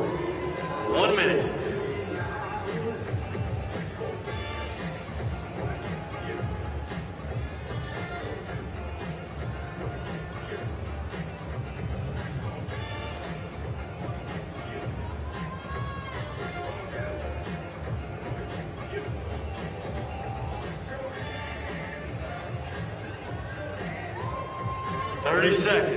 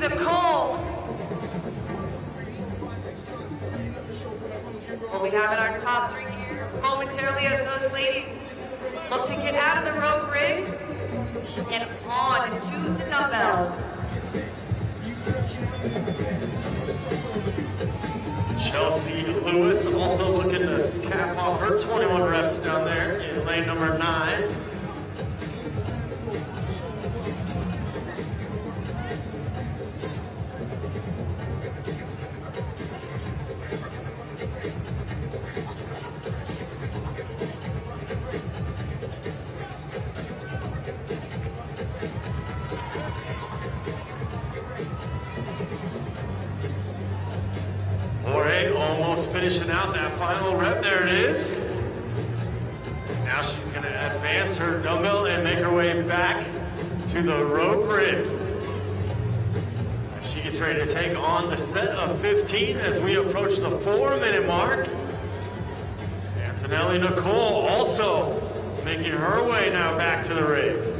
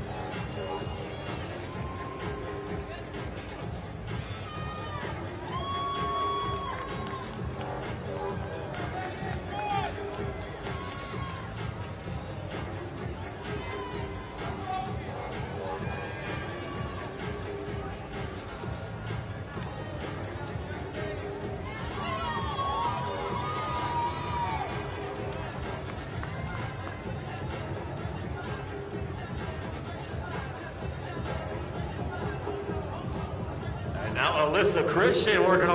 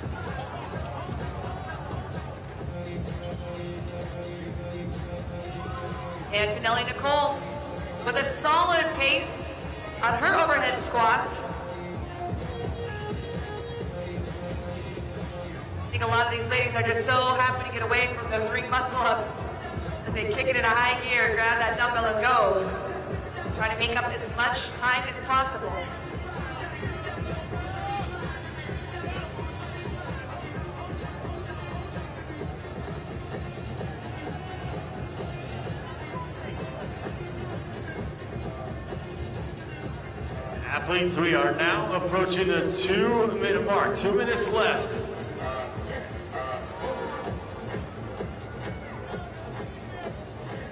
So with two minutes remaining, Laura Hayes, still our heat leader. They're in lane number five as she chisels away at the nine ring muscle ups, and now she's to have some company. Antonella Nicole making her way back to the nine muscle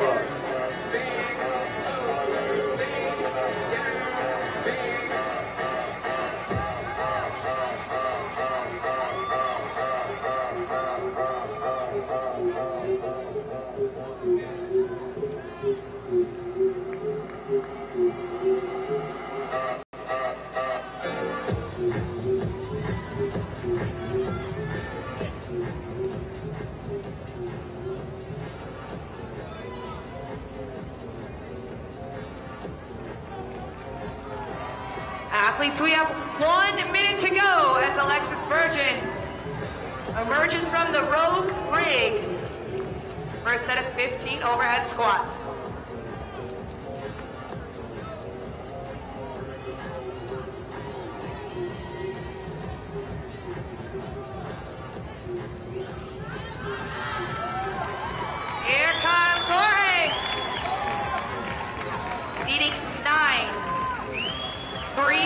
Of those boxes. She's got 30 seconds, Kiki. Help her out, San Antonio, with 20 seconds. She has three reps remaining now. 15 seconds. Come on, San Antonio. We're going to be our first athlete to finish it out. 10 seconds. And she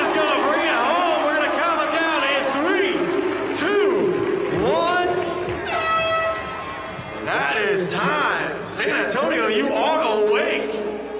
Bring it home, Boy, that was an awesome finish. Our first female competitor finished event number five. Don't go far, folks. We'll bring out another wave of ladies here in just a moment.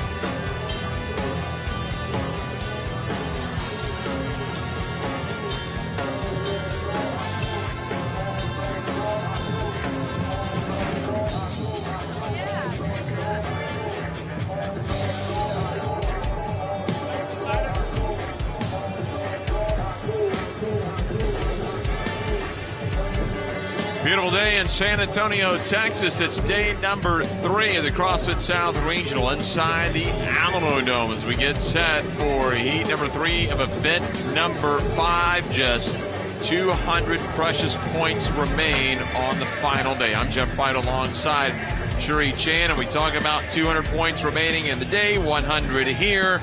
There's a nice battle going on up at the top, but the real battle is there for that fifth spot. 22 points separating four different athletes. You really, between your fourth and your eighth place, is going to be a really tight race. And this is such a great event, event number five, for the ladies to really show their skills and to see who can pull up and top and stay in that top five. Let's take a look at that spot in four through five. And right now, Brista Mayfield holds the final spot, Cherie. Brista Mayfield does, but it is exactly the same point spread that we have for Alexis Johnson. So whoever can get these muscle ups, and, and I look back at the 17.2, which is the muscle ups for the open, to kind of get an idea who might be a little bit better there. So we might have a race here with Alexis possibly pulling forward. It's going to be a neat little event, old 21 15 9, and could be a little tricky for some of these athletes between muscle ups and the overhead dumbbell squat.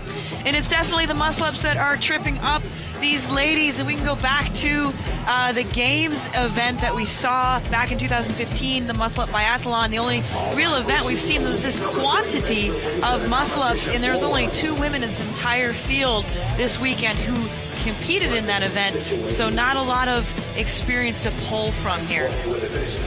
And again, it's going to be a 55 pound dumbbell, and here is the athletes. Here are the athletes, excuse me, for heat number three. We're going to have a total of eight athletes here in this heat.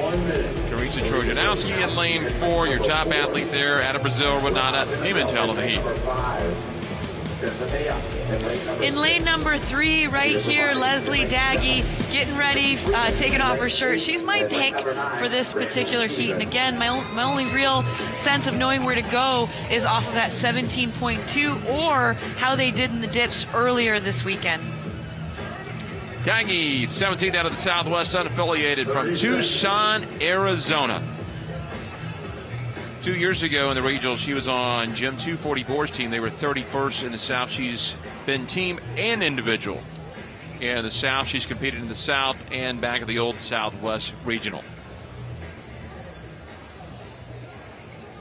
10 seconds. So just a few seconds and we will be underway. Athletes stand by. Underway, they're going to start it off with a 21 muscle up Cherie and a 21 15 9. The pace is go, but just because it's go does not mean there is a strategy, especially when you have a movement like a muscle up. Definitely not. And it really depends on how well these women know their muscle ups. Muscle up is a movement that goes away. When it goes away, it's gone. You can't get it back. So smaller sets with very short rests for a lot of these ladies it's going to be a smarter choice than running out there and getting one big set. And that's very big key, whether it's a muscle up or anything else in a 21-15-9. You see the the uh, the beginner athletes in CrossFit, they just they just know 21-15-9 and they mash the gas the, the gas pedal down and they are blown up very, very quick. So know what you need to do that set of 21. Yeah, that'll work really well on those overhead squats. Will not work well on the muscle ups here. Lane number six, that is Stine Pinelli. You know her very well, trained with you guys. Yep, out of Fort Collins, her gym is actually CrossFit Evolve, but since she made regionals, she uh, uh, contacted my husband Matt, and they've been working together. Good person to train on. There's no doubt about that. See who's the first to get off for the 21 overhead lunges. Again, one athlete has completed this event in the first two heats. And just to go back to what we were talking about with strategy, just because I have some intimate knowledge here of Stina, she knows she needs to go in sets of three, and she knows how much rest she needs to take in between in order to really handle this large quantity of muscle. So when you see these ladies just standing here, that's very intentional. Now you'll also see some ladies where maybe it's not so intentional because they jumped out and just did a really big set. You know, that's that's a big difference in competition as we have our first athlete on the floor doing the overhead squats. That's Louisa Diaz at an ELO CrossFit fifth in the, uh, excuse me, that was from Heat 2. It is Louisa Diaz there in lane number two. Out of ELO CrossFit. This is her uh, second regional. She had a 44th place in 2016, so you know that Louisa is looking to go ahead and get, you know, one up on that placing last year, and that's what you hope for every year, do a little bit better. Before we saw Louisa, I was going to make a point that you were talking about. That's the thing about competition and where the experience pays off. A lot of the athletes are going to know how many reps I can do, how much rest I do, I need to get. But you get in the competition setting, the adrenaline gets pumping, and you're thinking, oh, maybe I can sneak that fourth or fifth rep in there when you really do have to stick to that game plan you have to know yourself. There's going to be a few athletes we're going to talk about that should do the opposite of that. Uh, but for the majority of the women out here, they should be a little conservative on those reps. Looks like that may be Becky Freeman coming out as we see two lanes over. It's going to be Stevens as well. And excuse me, that is not Freeman. That's going to be Anita Pravati at a PAM CrossFit in Sao Paulo, Brazil. Third in the Latin American over there in the purple hair. Randy Stevens taking a uh, taking a tip from Caleb Banfield with the purple hair. Not surprised to see Anita Pravati out there. You know, her best finish was in event number two this weekend, which was those ring dips. So that obviously has some application or crossover here. Pravati very steady. Again, the athletes here in the set of 21, when they move up, that is increments of seven. So every seven reps, they will advance the dumbbell. We're starting to see more hands up for the ladies back there on the ring, so we're about to see some more ladies get out onto the floor.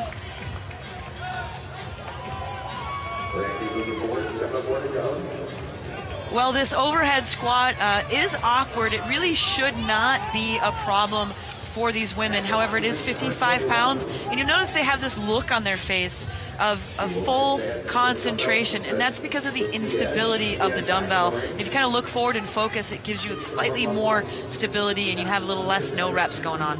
Leaders right now, you've got Diaz in first, followed by Pravati, and in third, it's going to be Randy Stevens. So that's your top three. Diaz on the front of your screen, currently in first place, beginning the round of the 15. Again, an 11 minute time cap as we are at four and a half minutes.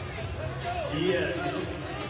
Chiseling away at those 15 muscle ups. Truckers King already. Came into event five and 26th place with 200 points on the board, maybe trying to make a run at a top 20 before weekend's over. And that was a pretty long rest right there, so it just makes you wonder whether or not she came out a little hot in that first set of 21. You don't want to see that long of a rest. However, these look pretty strong and solid. She's catching very high, so very proficient here in the muscle up. Less than five reps remaining. Trying to get the lockout, and she does. She's now going to advance back to the dumbbell 15. So she's about halfway through event number five.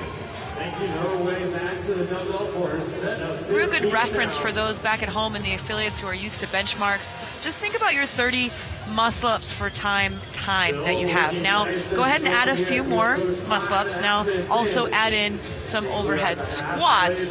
And this time frame of 11 minutes is faster than most people do just those 30.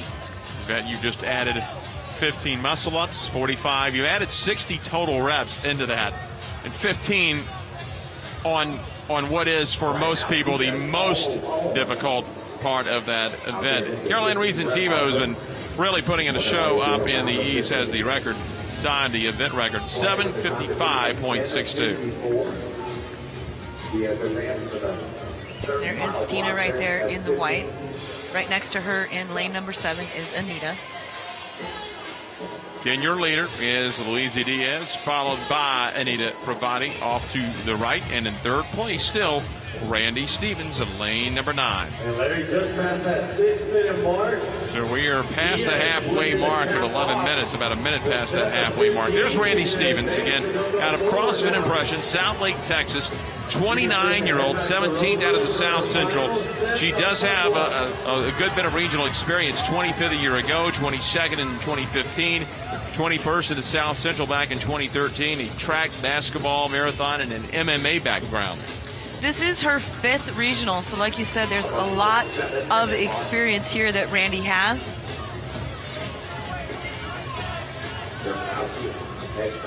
Coming up on seven minutes, an 11 minute time cap. Luisa Diaz still our leader, followed by Pravati and Randy Stevens right here in third place. Less than five muscle ups remaining here in the round of 15. We've had one female athlete so far complete this in underneath the time cap. For round of 15 on the race. And in the air for Randy Stevens looking to finish the round of 15. So back down 725 on the clock. to the rig as Randy Stevens still over lane nine trying to wrap it up as we take a look here. That is going to be Pravati. Pravati trying to finish up her round of 15 muscle ups, trying to make a run, trying to catch up with Randy Stevens. Pravati is less than five. So is Randy, but Randy taking a pretty big break here. And you can see now that the volume is caught up with a lot of the women. We're now seeing them go down into singles. See Diaz way over there is at five or under as well. And Diaz, that's on her round of nine, so she's going to have a chance to finish it up. That's the last one. Here comes Diaz. She has nine reps remaining. At this point, she'll do three, three, and three, advancing every three reps on this round of nine. Another good indicator of the weight of this dumbbell and how it feels to those at the affiliates. The RX weights in the open were 50 and 35, male and female. This is a 55 pound dumbbell. We all toted that dumbbell in 17 1 and 2. Randy Stevens going to wrap it up, and she is going to have the lead here after three heats. She comes in for the heat win at 8.52 unofficially. So Louisa Diaz out of ELO CrossFit will get the heat win. Stevens on the right, Pravati on the left, Pravati with a lead on Randy Stevens. It looks like Stevens is going to go back to grab some chalk. Or no, get onto a round of nine, and now here comes Pravati. So Stevens actually has the lead, making her way back to the chalk bucket, and she'll get on the round of nine muscle ups. That's how quick Louisa Diaz was. I thought they were just going to wrap it up too, but Diaz had a significantly, and she's put up a pretty aggressive time to beat for heats four and five. Yeah, she's about a minute away from the event record right now. So it'll either be Stevens on the right in the purple or Pravati right there on your screen. They can control their muscle ups and get to that dumbbell. They've got one minute remaining in the cap. Right here is where it gets slightly frustrating if you're starting to lose your muscle ups and you really have to focus, concentrate, and just, you know, you try to be a rod, basically, try to get everything really tight because you can see as you start to fail that body parts kind of go in all different directions. So you really try to tighten things up and focus. Both with still five or more reps remaining. They're both going to cap out. Right now, you just want to get as many reps as you can. They've only got 30 seconds to grab as many reps as possible. There is Pinella on the round of 15 overhead squats.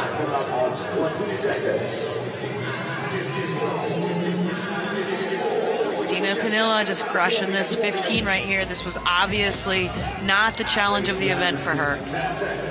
10 seconds remaining and she'll move the dumbbell forward. And so five seconds remaining in the time gap is Louisa Diaz to get out of ELO CrossFit. Sets a very aggressive time of 8.52 unofficially, and Diaz is your heat winner. And right now, the event leader through three heats at 852.77. That is the official time. And Luisa Diaz just really was impressive in this and really moved through this event. From the very start, Luisa Diaz was moving very, very quickly on these muscle ups. You can just see her proficiency on how high she catches to kind of save some energy here. She even decided to save a little energy on these squats by going on this wide squat and shortening her already short levers and coming out here with a blazing time of 852. Don't forget for all the official information about not only the South region, but the East region and the upcoming uh, regions the next two weeks, you can go to games.crossfit.com. Always time for a picture after you win a heat. Coming up will be heat number four for the Alamodome in San Antonio.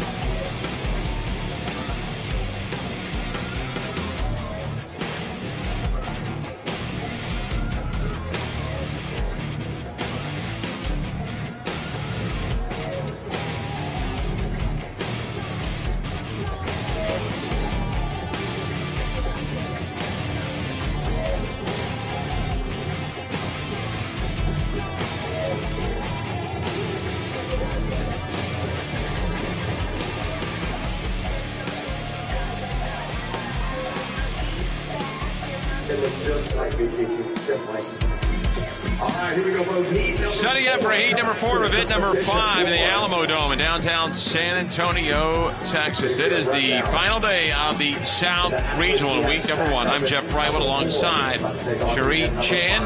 And now we're starting to get into heat for Cherie. These athletes, maybe and likely not a chance to get that top five, but a chance to get a top 10. And they've got a chance here with 100 points for a 21 15 9. A battle to get into that top 10 and it's going to be all about the muscle ups. A total repetition of 45. We have never seen that in a regional event before.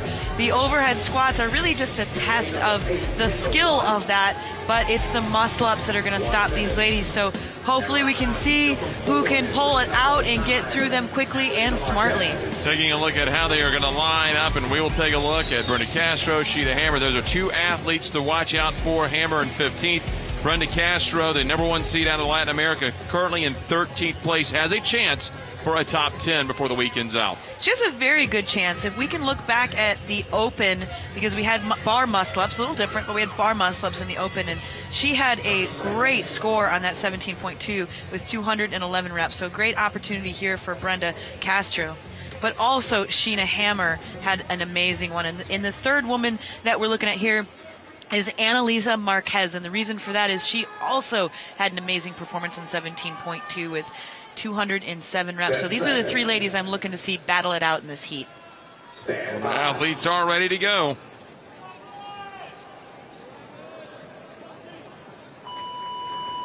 And they're off to the rings to begin 21 muscle ups.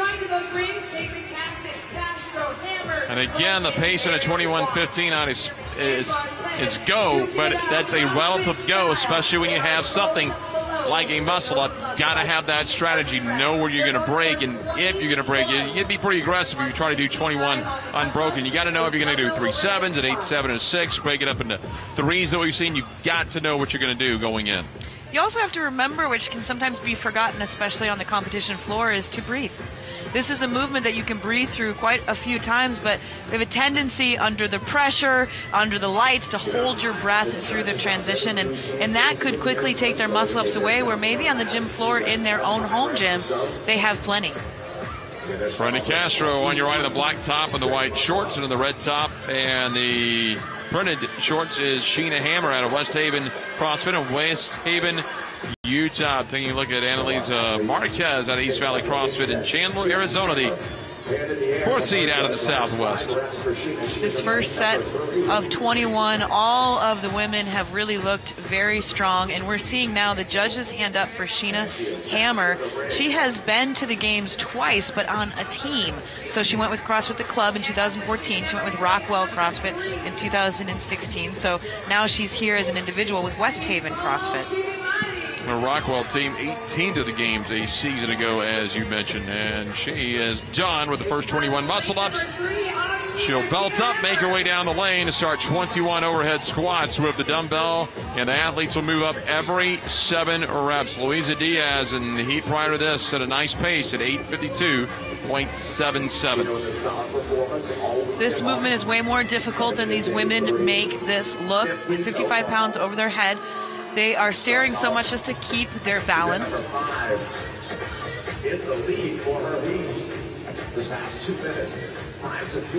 Coming into event number five, 15th. So again, she's an athlete.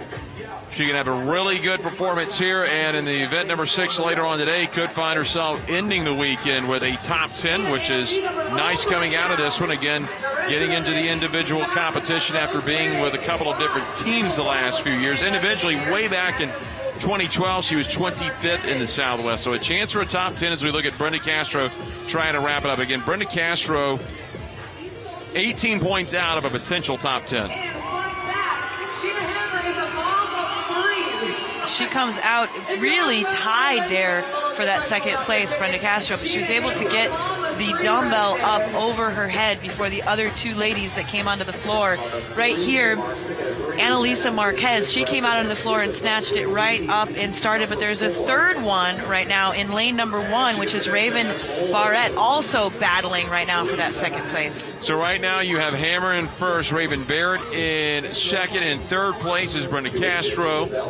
So those are your top three, and quickly Hammer back. She's going to get into her round of 15. And those people out there who've done a 21.59 before, they know it doesn't start till the 15th. that is the real pain of a 21.59, the, the middle of those 15s. I'm not sure if it's the push or the regret that starts around the 15 sometime. So Hammer is still looking very smooth in the round of 15 muscle ups. Here's Brenda Castro. She is now completed a round of 21 overhead squats. She'll see if she can track down, picking up to a slight jog to get back to the rig. And trailing Sheena Hammer, who's off to the left of the pink top. She just went up for another couple. I believe she's right around five or six muscle ups at this point. Looks like she may be going in sets of three.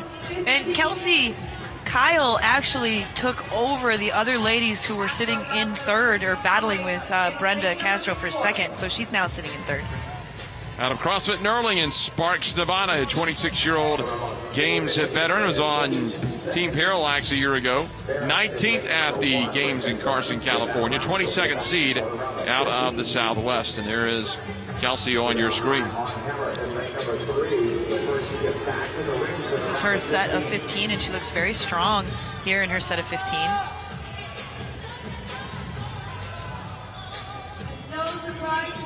This is her second regional. She did very well in the uh, dip workout that we did with the 2159, so no surprise that she's pulling ahead here in the muscle up. Talked about Brenda and Sheena with a chance at the top 10. Kelsey only a couple spots away in 12th place. Back to Brenda Castro and Sheena Hammergan. Castro in the middle. Sheena Hammer off to the left side. Sheena, remember, got back to these muscle ups quicker, and she's down to her last five. Brenda Castro just over five, but expecting that judge's hand to go up any second now. And Brenda doing them now in sets of two, but looking very strong. And there we have Keel. On the right side, and Castro in the upper left. And we are now reaching the halfway point at five and a half minutes of an 11 minute time cap. And there she goes.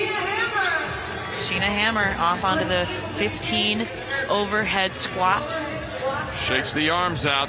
Down to the round of 15. They'll move forward three times every five reps. Just curious if she's got something going on there, why why she's taking the time to put that belt on. She still has a heat behind her, heat number five, that she's got to worry about as well. And if she wants that top 10, has to push the pace. You've got the top 10 athletes through four events competing in heat number five. You had some heavy hitters in heat five as well.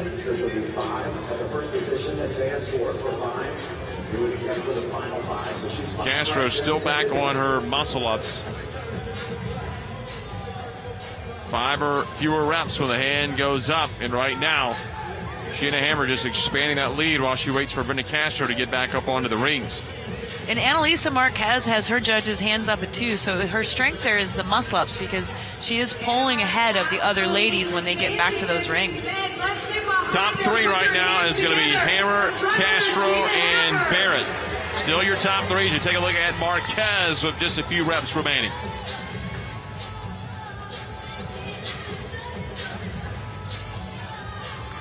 Again, the event record is just a minute away. Another event record that was set up in the East by Carol-Ann Reason Thibault. Raven Barrett making a move. She is back. And so Barrett trying to grab the lead. So it's going to be a big battle here between Sheena Hammer and Raven Barrett. They kind of separated a little bit from Brenda Castro.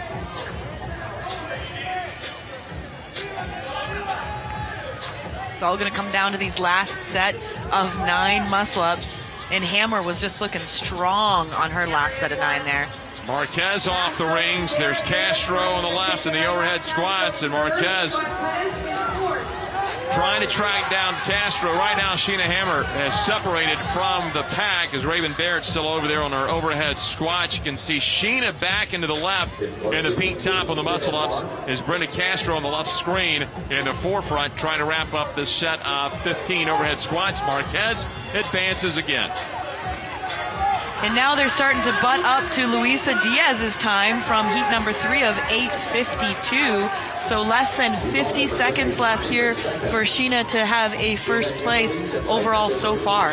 We knew Diaz's time was very aggressive. Big no rep there that time on Sheena Hammer. Still maintains a lead, but here comes Brenda Castro. She's still got a pretty good buffer against Castro, but if she was going to make a run at Diaz, it probably went out the window on that no rep. And it's hard to tell why, whether or not it was that her shoulders kicked behind the rings before she finished the dip, or whether her feet came up a little high. She has a tendency to kind of get to both of those, so not exactly sure which one of those was the cause. So Diaz is going to have the event lead with one heat remaining. And that's certain at this point as we get near and now on the 852 mark. That's where Louisa finished. But only nine reps left here for Sheena Hammer. She's still going to put up a very, very solid time. And good. She realizes that that belt's not going to do her any good at this point. She needs to just get through these as fast as she can. Again, only two athletes, Luisa Diaz and Marina Ramos Jorge, are the only two athletes who have finished under the cap. So right now, she'll just be the third athlete to finish under the cap. Final three reps for Sheena Hammer out of West Haven, Utah, and West Haven CrossFit. Sitting in 15th, she's got a chance to really move up and could be in the final heat today when they reseed for heat number five event, event number six in there, a little bit under 940. Sheena Hammer, she came in with an overall ranking of 15th place, so she'd have to move five places to be able to make that happen. But believe it or not, that's not that many points going on right now. That's really only about 28 points. And becoming only the third female. Unless Castro and Marquez can really move here, it's only going to be three females that have finished this event before the final heat. So only three athletes look like they may finish, but over in lane number one, Raven Barrett making a run. There's going to be four athletes as Barrett just snuck in at about 10-19. Castro can make a run, but she's really got to move here. She has nine of these overhead squats remaining. Can't afford a no rep. Can't afford an imbalance. Plenty of time. Six remaining as long as she can stay steady. Last three. Castro is done. Brenda Castro is going to come across under the time cap at 1050. And that's exactly what we wanted, Jeff. We wanted to see some women finish this in that time cap, and so we got three of them here. So under the time cap, she did a really nice job there near that last rep. She's about to go down for rep number nine, and maybe felt a little shaky. Took that one extra breath, got tight in the midline, pushed up through the ceiling, finished that rep off because she knew she had time to get to the finish mat. But right here, this is the lady that just went ahead and crushed this heat. Sheena Hammer, she came out strong on those muscle ups and she just kept that pace and kept that strength. And let's go ahead and have a little glimpse at what she did with crushing this so you can see she's cool, calm, she's breathing, she's smooth through them. She did get a couple no reps on the muscle ups, but she didn't let it faze her. She stayed nice and stable here on the overhead squats, and really it was just consistency was the name of the game for Sheena Hammer. Great job, Sheena out of West Haven, Utah. So Sheena Hammer takes the heat, but Luisa Diaz still holds on to the event lead at 852.77. But a great performance. Just a handful of athletes have finished it. We'll see how many can finish it up in heat number five. Coming your way shortly for all the official information. Head to games.crossfit.com. We're back in just a second from the Alamodome.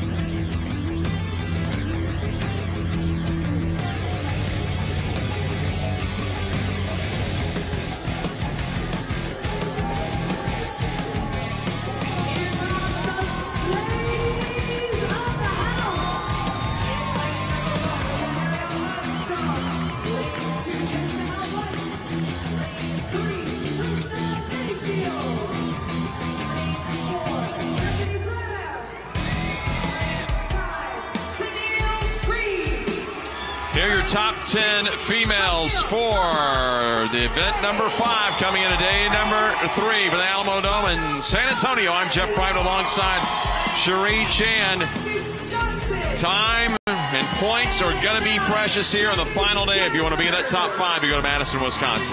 It is going to be precious, and we kind of have two shows that are going to be going on here. We'll talk about it in a minute, but here is what the event is 21 15 9. That is a familiar rep scheme in the CrossFit training methodology, muscle ups, and then the overhead squat with single arm, 55 pounds, 11 minute time cap. That is aggressive.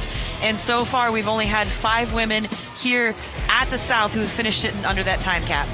Here is how they line up in the final heat of event number five, and several athletes to kind of watch. Margaux Alvarez, Brista Mayfield, Alexis Johnson, Jessica Alavoit, and also Candice Wagner.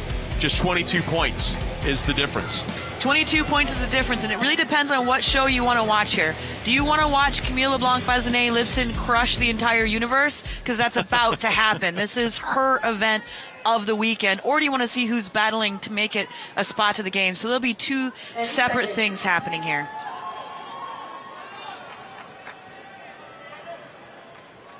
Stand by. Set to go. Here we go, 21 muscle ups. So we'll keep an eye on Camille right in the center of your screen. 21 muscle ups. We talked earlier about being smart and choosing sets that you need to do. This is an athlete right here, Camille, that does not need to do that. She can have very big sets and be successful through this entire workout. And there's not going to be a lot of women who can do that. You mentioned that muscle up biathlon. It was Cody Anderson and Camille on the on the women's side that put on the show a couple of years ago in that muscle up biathlon with those huge, huge sets. And what you saw right there was not a need to stop because of her muscle ups going away, but she was getting too much of a swing. So she decided, all right, well then I'll come down and I'm going to have to get up there and finish this. Here is a look at the bubble. Brista Mayfield hanging on to that final spot with 293 points. The points are tied to Alexis Johnson, but Mayfield has the tiebreaker, a higher event finish of more on the bubble. Let's go to Nick Zielinski. Yeah, guys, you've already mentioned it. Fourth through eighth place, only separated by 22 points. The woman on top of that, the fourth place right now, Margaux Alvarez. The game's veteran told me she doesn't like leaderboard watching, but in a social media world, she knows that's impossible.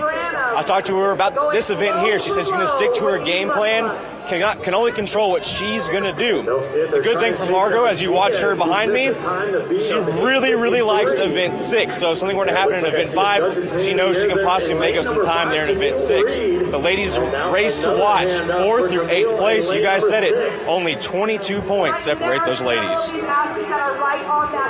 Tight, tight race without a doubt. And again, it's not so much. It's nice to win a regional, but if you're in the top five, you got a chance once you get to Madison, Wisconsin, to be the fittest on the planet. Alvarez right now, a games veteran in fourth place. And Camille and Tennil Reed are the first two. They have battled out. This is the second race. Reed holding a slight lead over LeBlanc Bazinet coming into Sunday and Camille drops the dumbbell from overhead. Luckily, she's got a big smile on her face uh, when she does that to be able to have composure. But the pressure that she has right now, because Tennil Reed is right beside her, is incredible.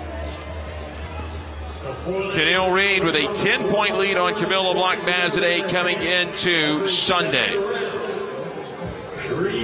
So just two spots could be the difference on the top of the podium. Two spots is, is the difference at this point as Tennil Reed moving it up. Her final set of seven. They move it up every seven reps. And there's Margaux Alvarez on the right in that purple tank top trying to hang in there right now with a fourth place with 200 points at the line. And Tennil Reed quickly advances the dumbbell.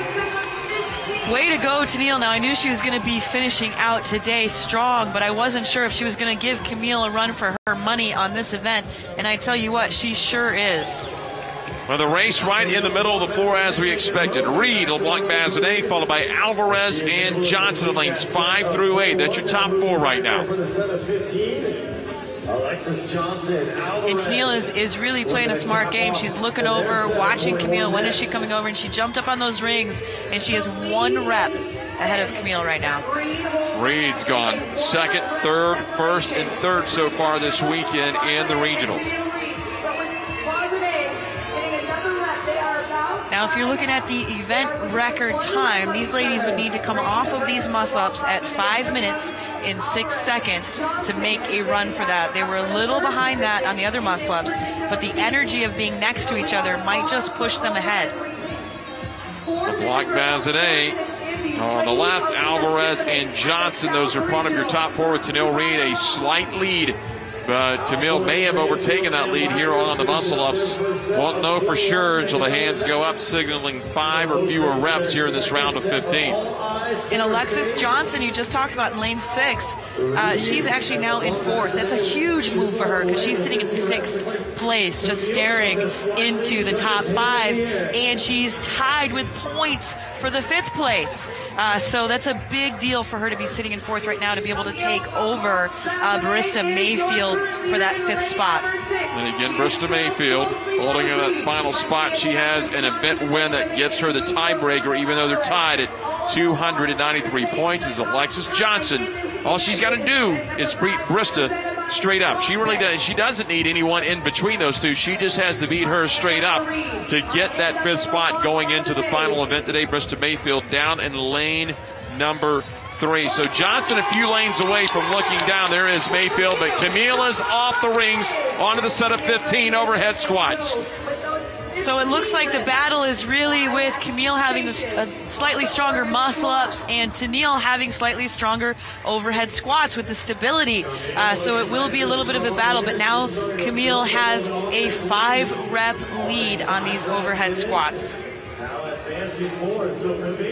So Camille, again, will move this up every five times. LeBlanc Bazinet, it's her seventh appearance in the regionals. CrossFit Games, again, trying to make it eight to tie Ben Smith. Rebecca Voigt with nine games appearances. LeBlanc Bazinet, seven straight. Yeah, this is her eighth regional, seventh games. Right behind her is Tennil Reed. And, and if you're just starting to train CrossFit and be a fan of the CrossFit Games, to get to the games seven consecutive times an unbelievable feat. Not only was it tough when she started that streak, it goes up significantly with the level of fitness from these athletes and within the community and just all the influx of newcomers as the years have gone around. We're going to see what Camille can do right here because she is on pace for an event record. If she can get off these rings at 718, which is what we saw over in the East, then she can be right there to track that record. 755.62, the event record, as Cherie just said, looking at right around 718 to get off of these muscle ups.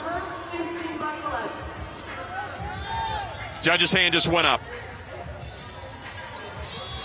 Just about four more reps for LeBlanc Bazinet. And she's doing them in sets of three, so she has one more set of three. And Tennil's now right next to her, also looking really strong and really fast on her muscle ups. She did get a no rep there for coming down before she locked out in that dip. Eight seconds to see if she can finish up the muscle ups. And she does. She's about three seconds ahead. 755, 6'2 is what she's chasing now with nine reps remaining for a potential event record.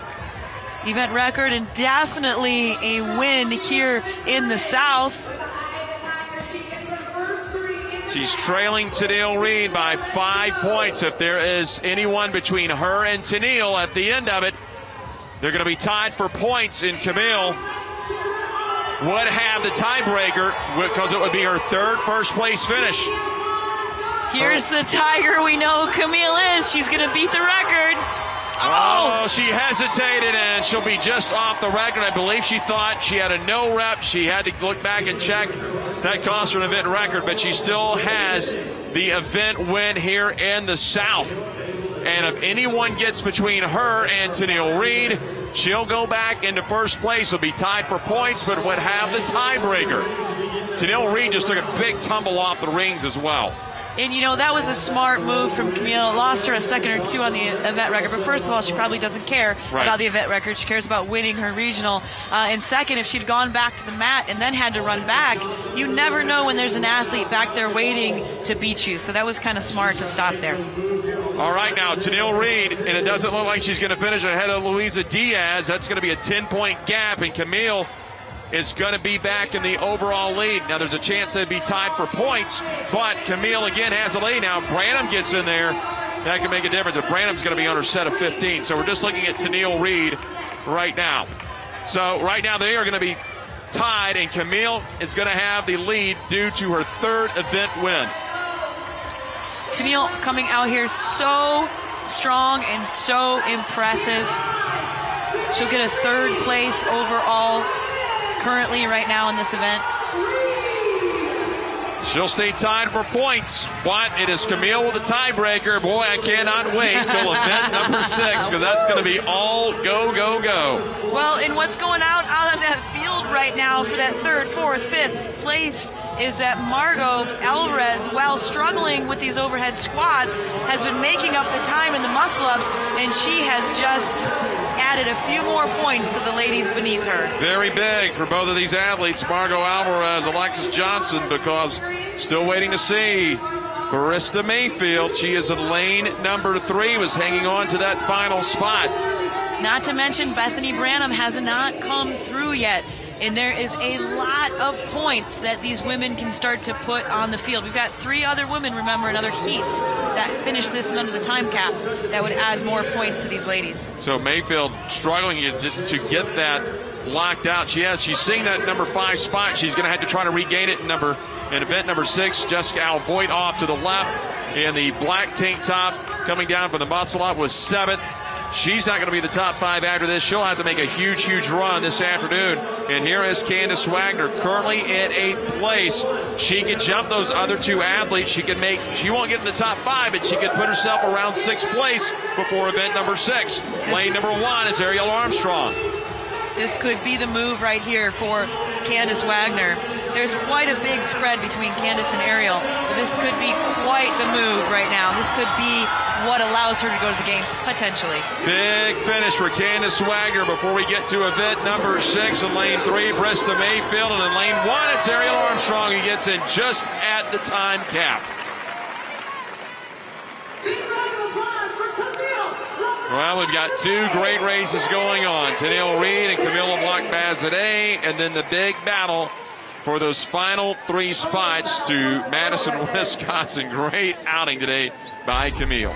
Can you believe it? This was Camille LeBlanc Bazinet's 26th regional event win. Nobody comes close to winning that many events at a regional. She had a little bit of a slip up in the beginning with the overhead squats, but laughed it off, picked it back up, and that just goes to show her experience and how quickly she can react to what's happening out there in the field. Congratulations, Camille, you deserve it. Give credit to the judge. They have to remain calm and neutral. I'd have been yelling, go. Let's go down to Nick Zielinski. Camille, another amazing finish. You were just two seconds off an event record there. It's been kind of the Camille versus Tennil show. What's it been like com- competing against Tennil Reed this weekend? it's competing. Um, I don't know why people say that. I think everyone is here just to do their best. So really, it's not against her at all. It's just I'm just trying to do my best. That's all. One more event left. What can we expect from you on a little assault bike, a little burpee box jump, some over the shoulder? What are you thinking on event six? Oh, you know, it's the last event of the weekend, so I'm just going as hard as I can, and uh, you know, keep enjoying the fan and everyone that's here to help us do this. It's, yeah. All right, sounds good. It's nice and simple. Camille, we'll see you in event six. Congratulations. That's all it is. Another event win for Camille LeBlanc today as she edges out Tennil Reed. And unofficially, they'll be tied in points, but Camille, with that event win, will have the tiebreaker. She'll be the number one overall seed going into event number six. Don't forget all the official information can be found at games.crossfit.com. Not only here for the South, but the East and all the other regions as well. The men will continue our competition from the South here from San Antonio.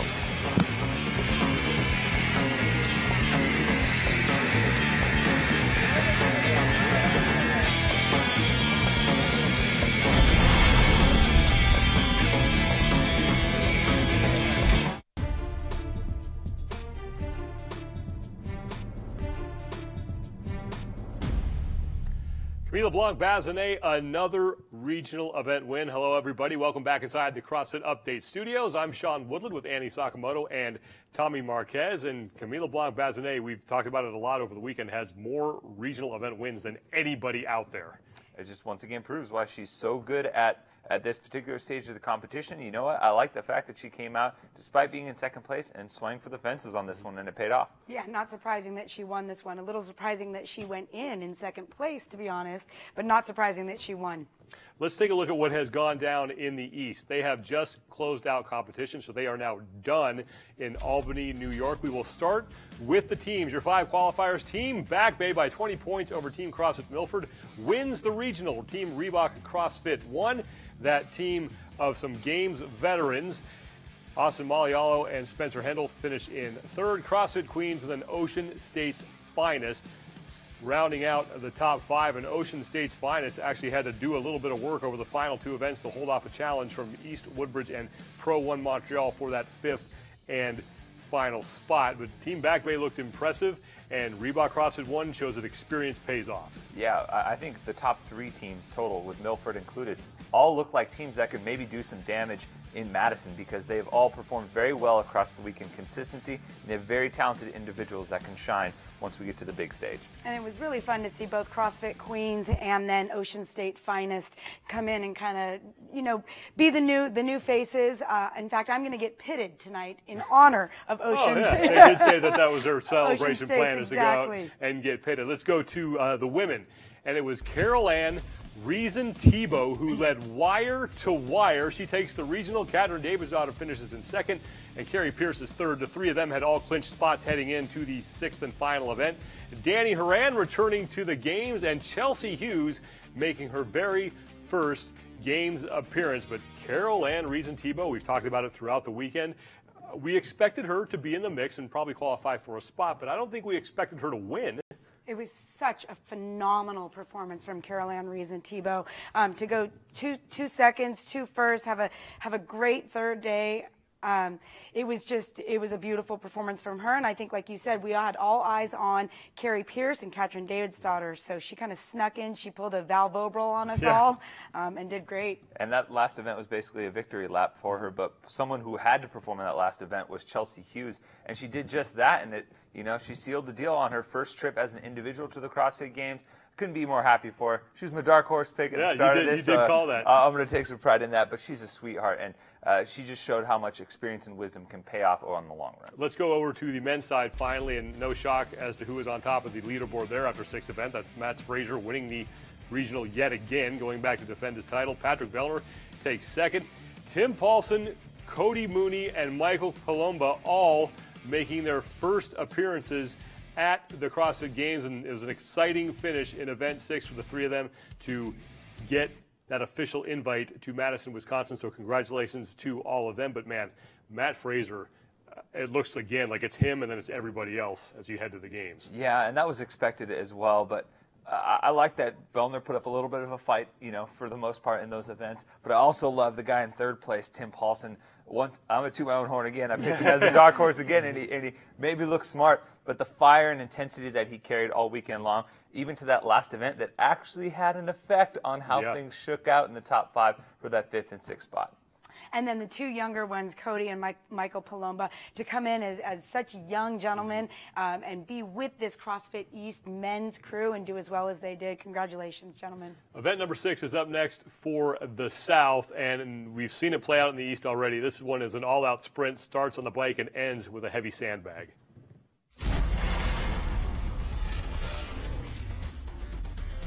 Twenty seventeen Reebok CrossFit Games Regional Individual Event 6 is 30 calories on the assault bike for men and 25 calories for women, followed by 20 burpee box jump overs and 10 sandbag cleans. Men use a 30 inch box and a 150 pound sandbag. Women use a 24 inch box and a 100 pound sandbag. The time cap is six minutes.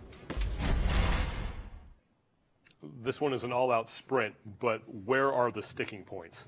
For me, it's the burpees. I think we saw that with the men in particular. That you can come off that bike hot, but everyone's still sticking within two to three seconds, maybe five seconds at the most coming off the bike. But in the burpees, so much matters with your pace and, and being able to turn those over. I'll, I'll admit, I didn't think the hands on the box would be a big factor coming into this, but actually seeing it played out, it was a huge factor. We saw Matt Fraser take advantage of burpee pace, and it led him to an event victory. Well, and as you said, it is an all-out sprint. So what that means is one missed rep could cost you literally a trip to the games on this situation. I want to pick for the men and a pick for the women. Tommy, we'll start with you. Who do you think takes this for the men?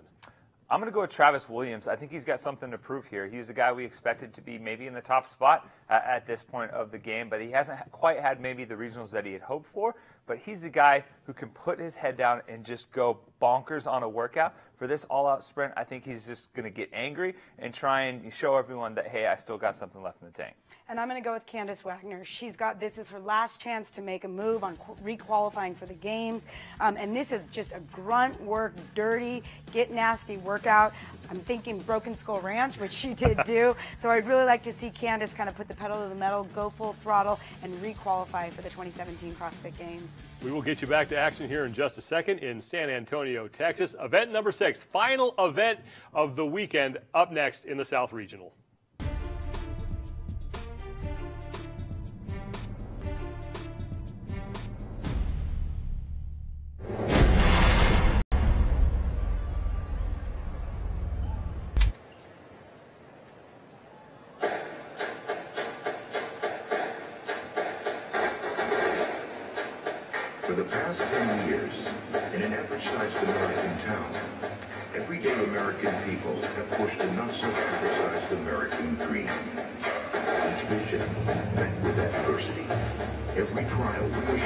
Them that their heart was right.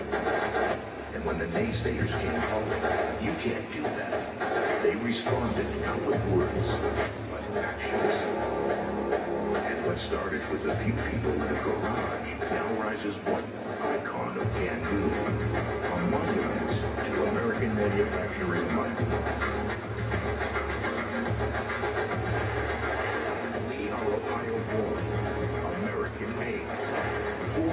450 strong and growing.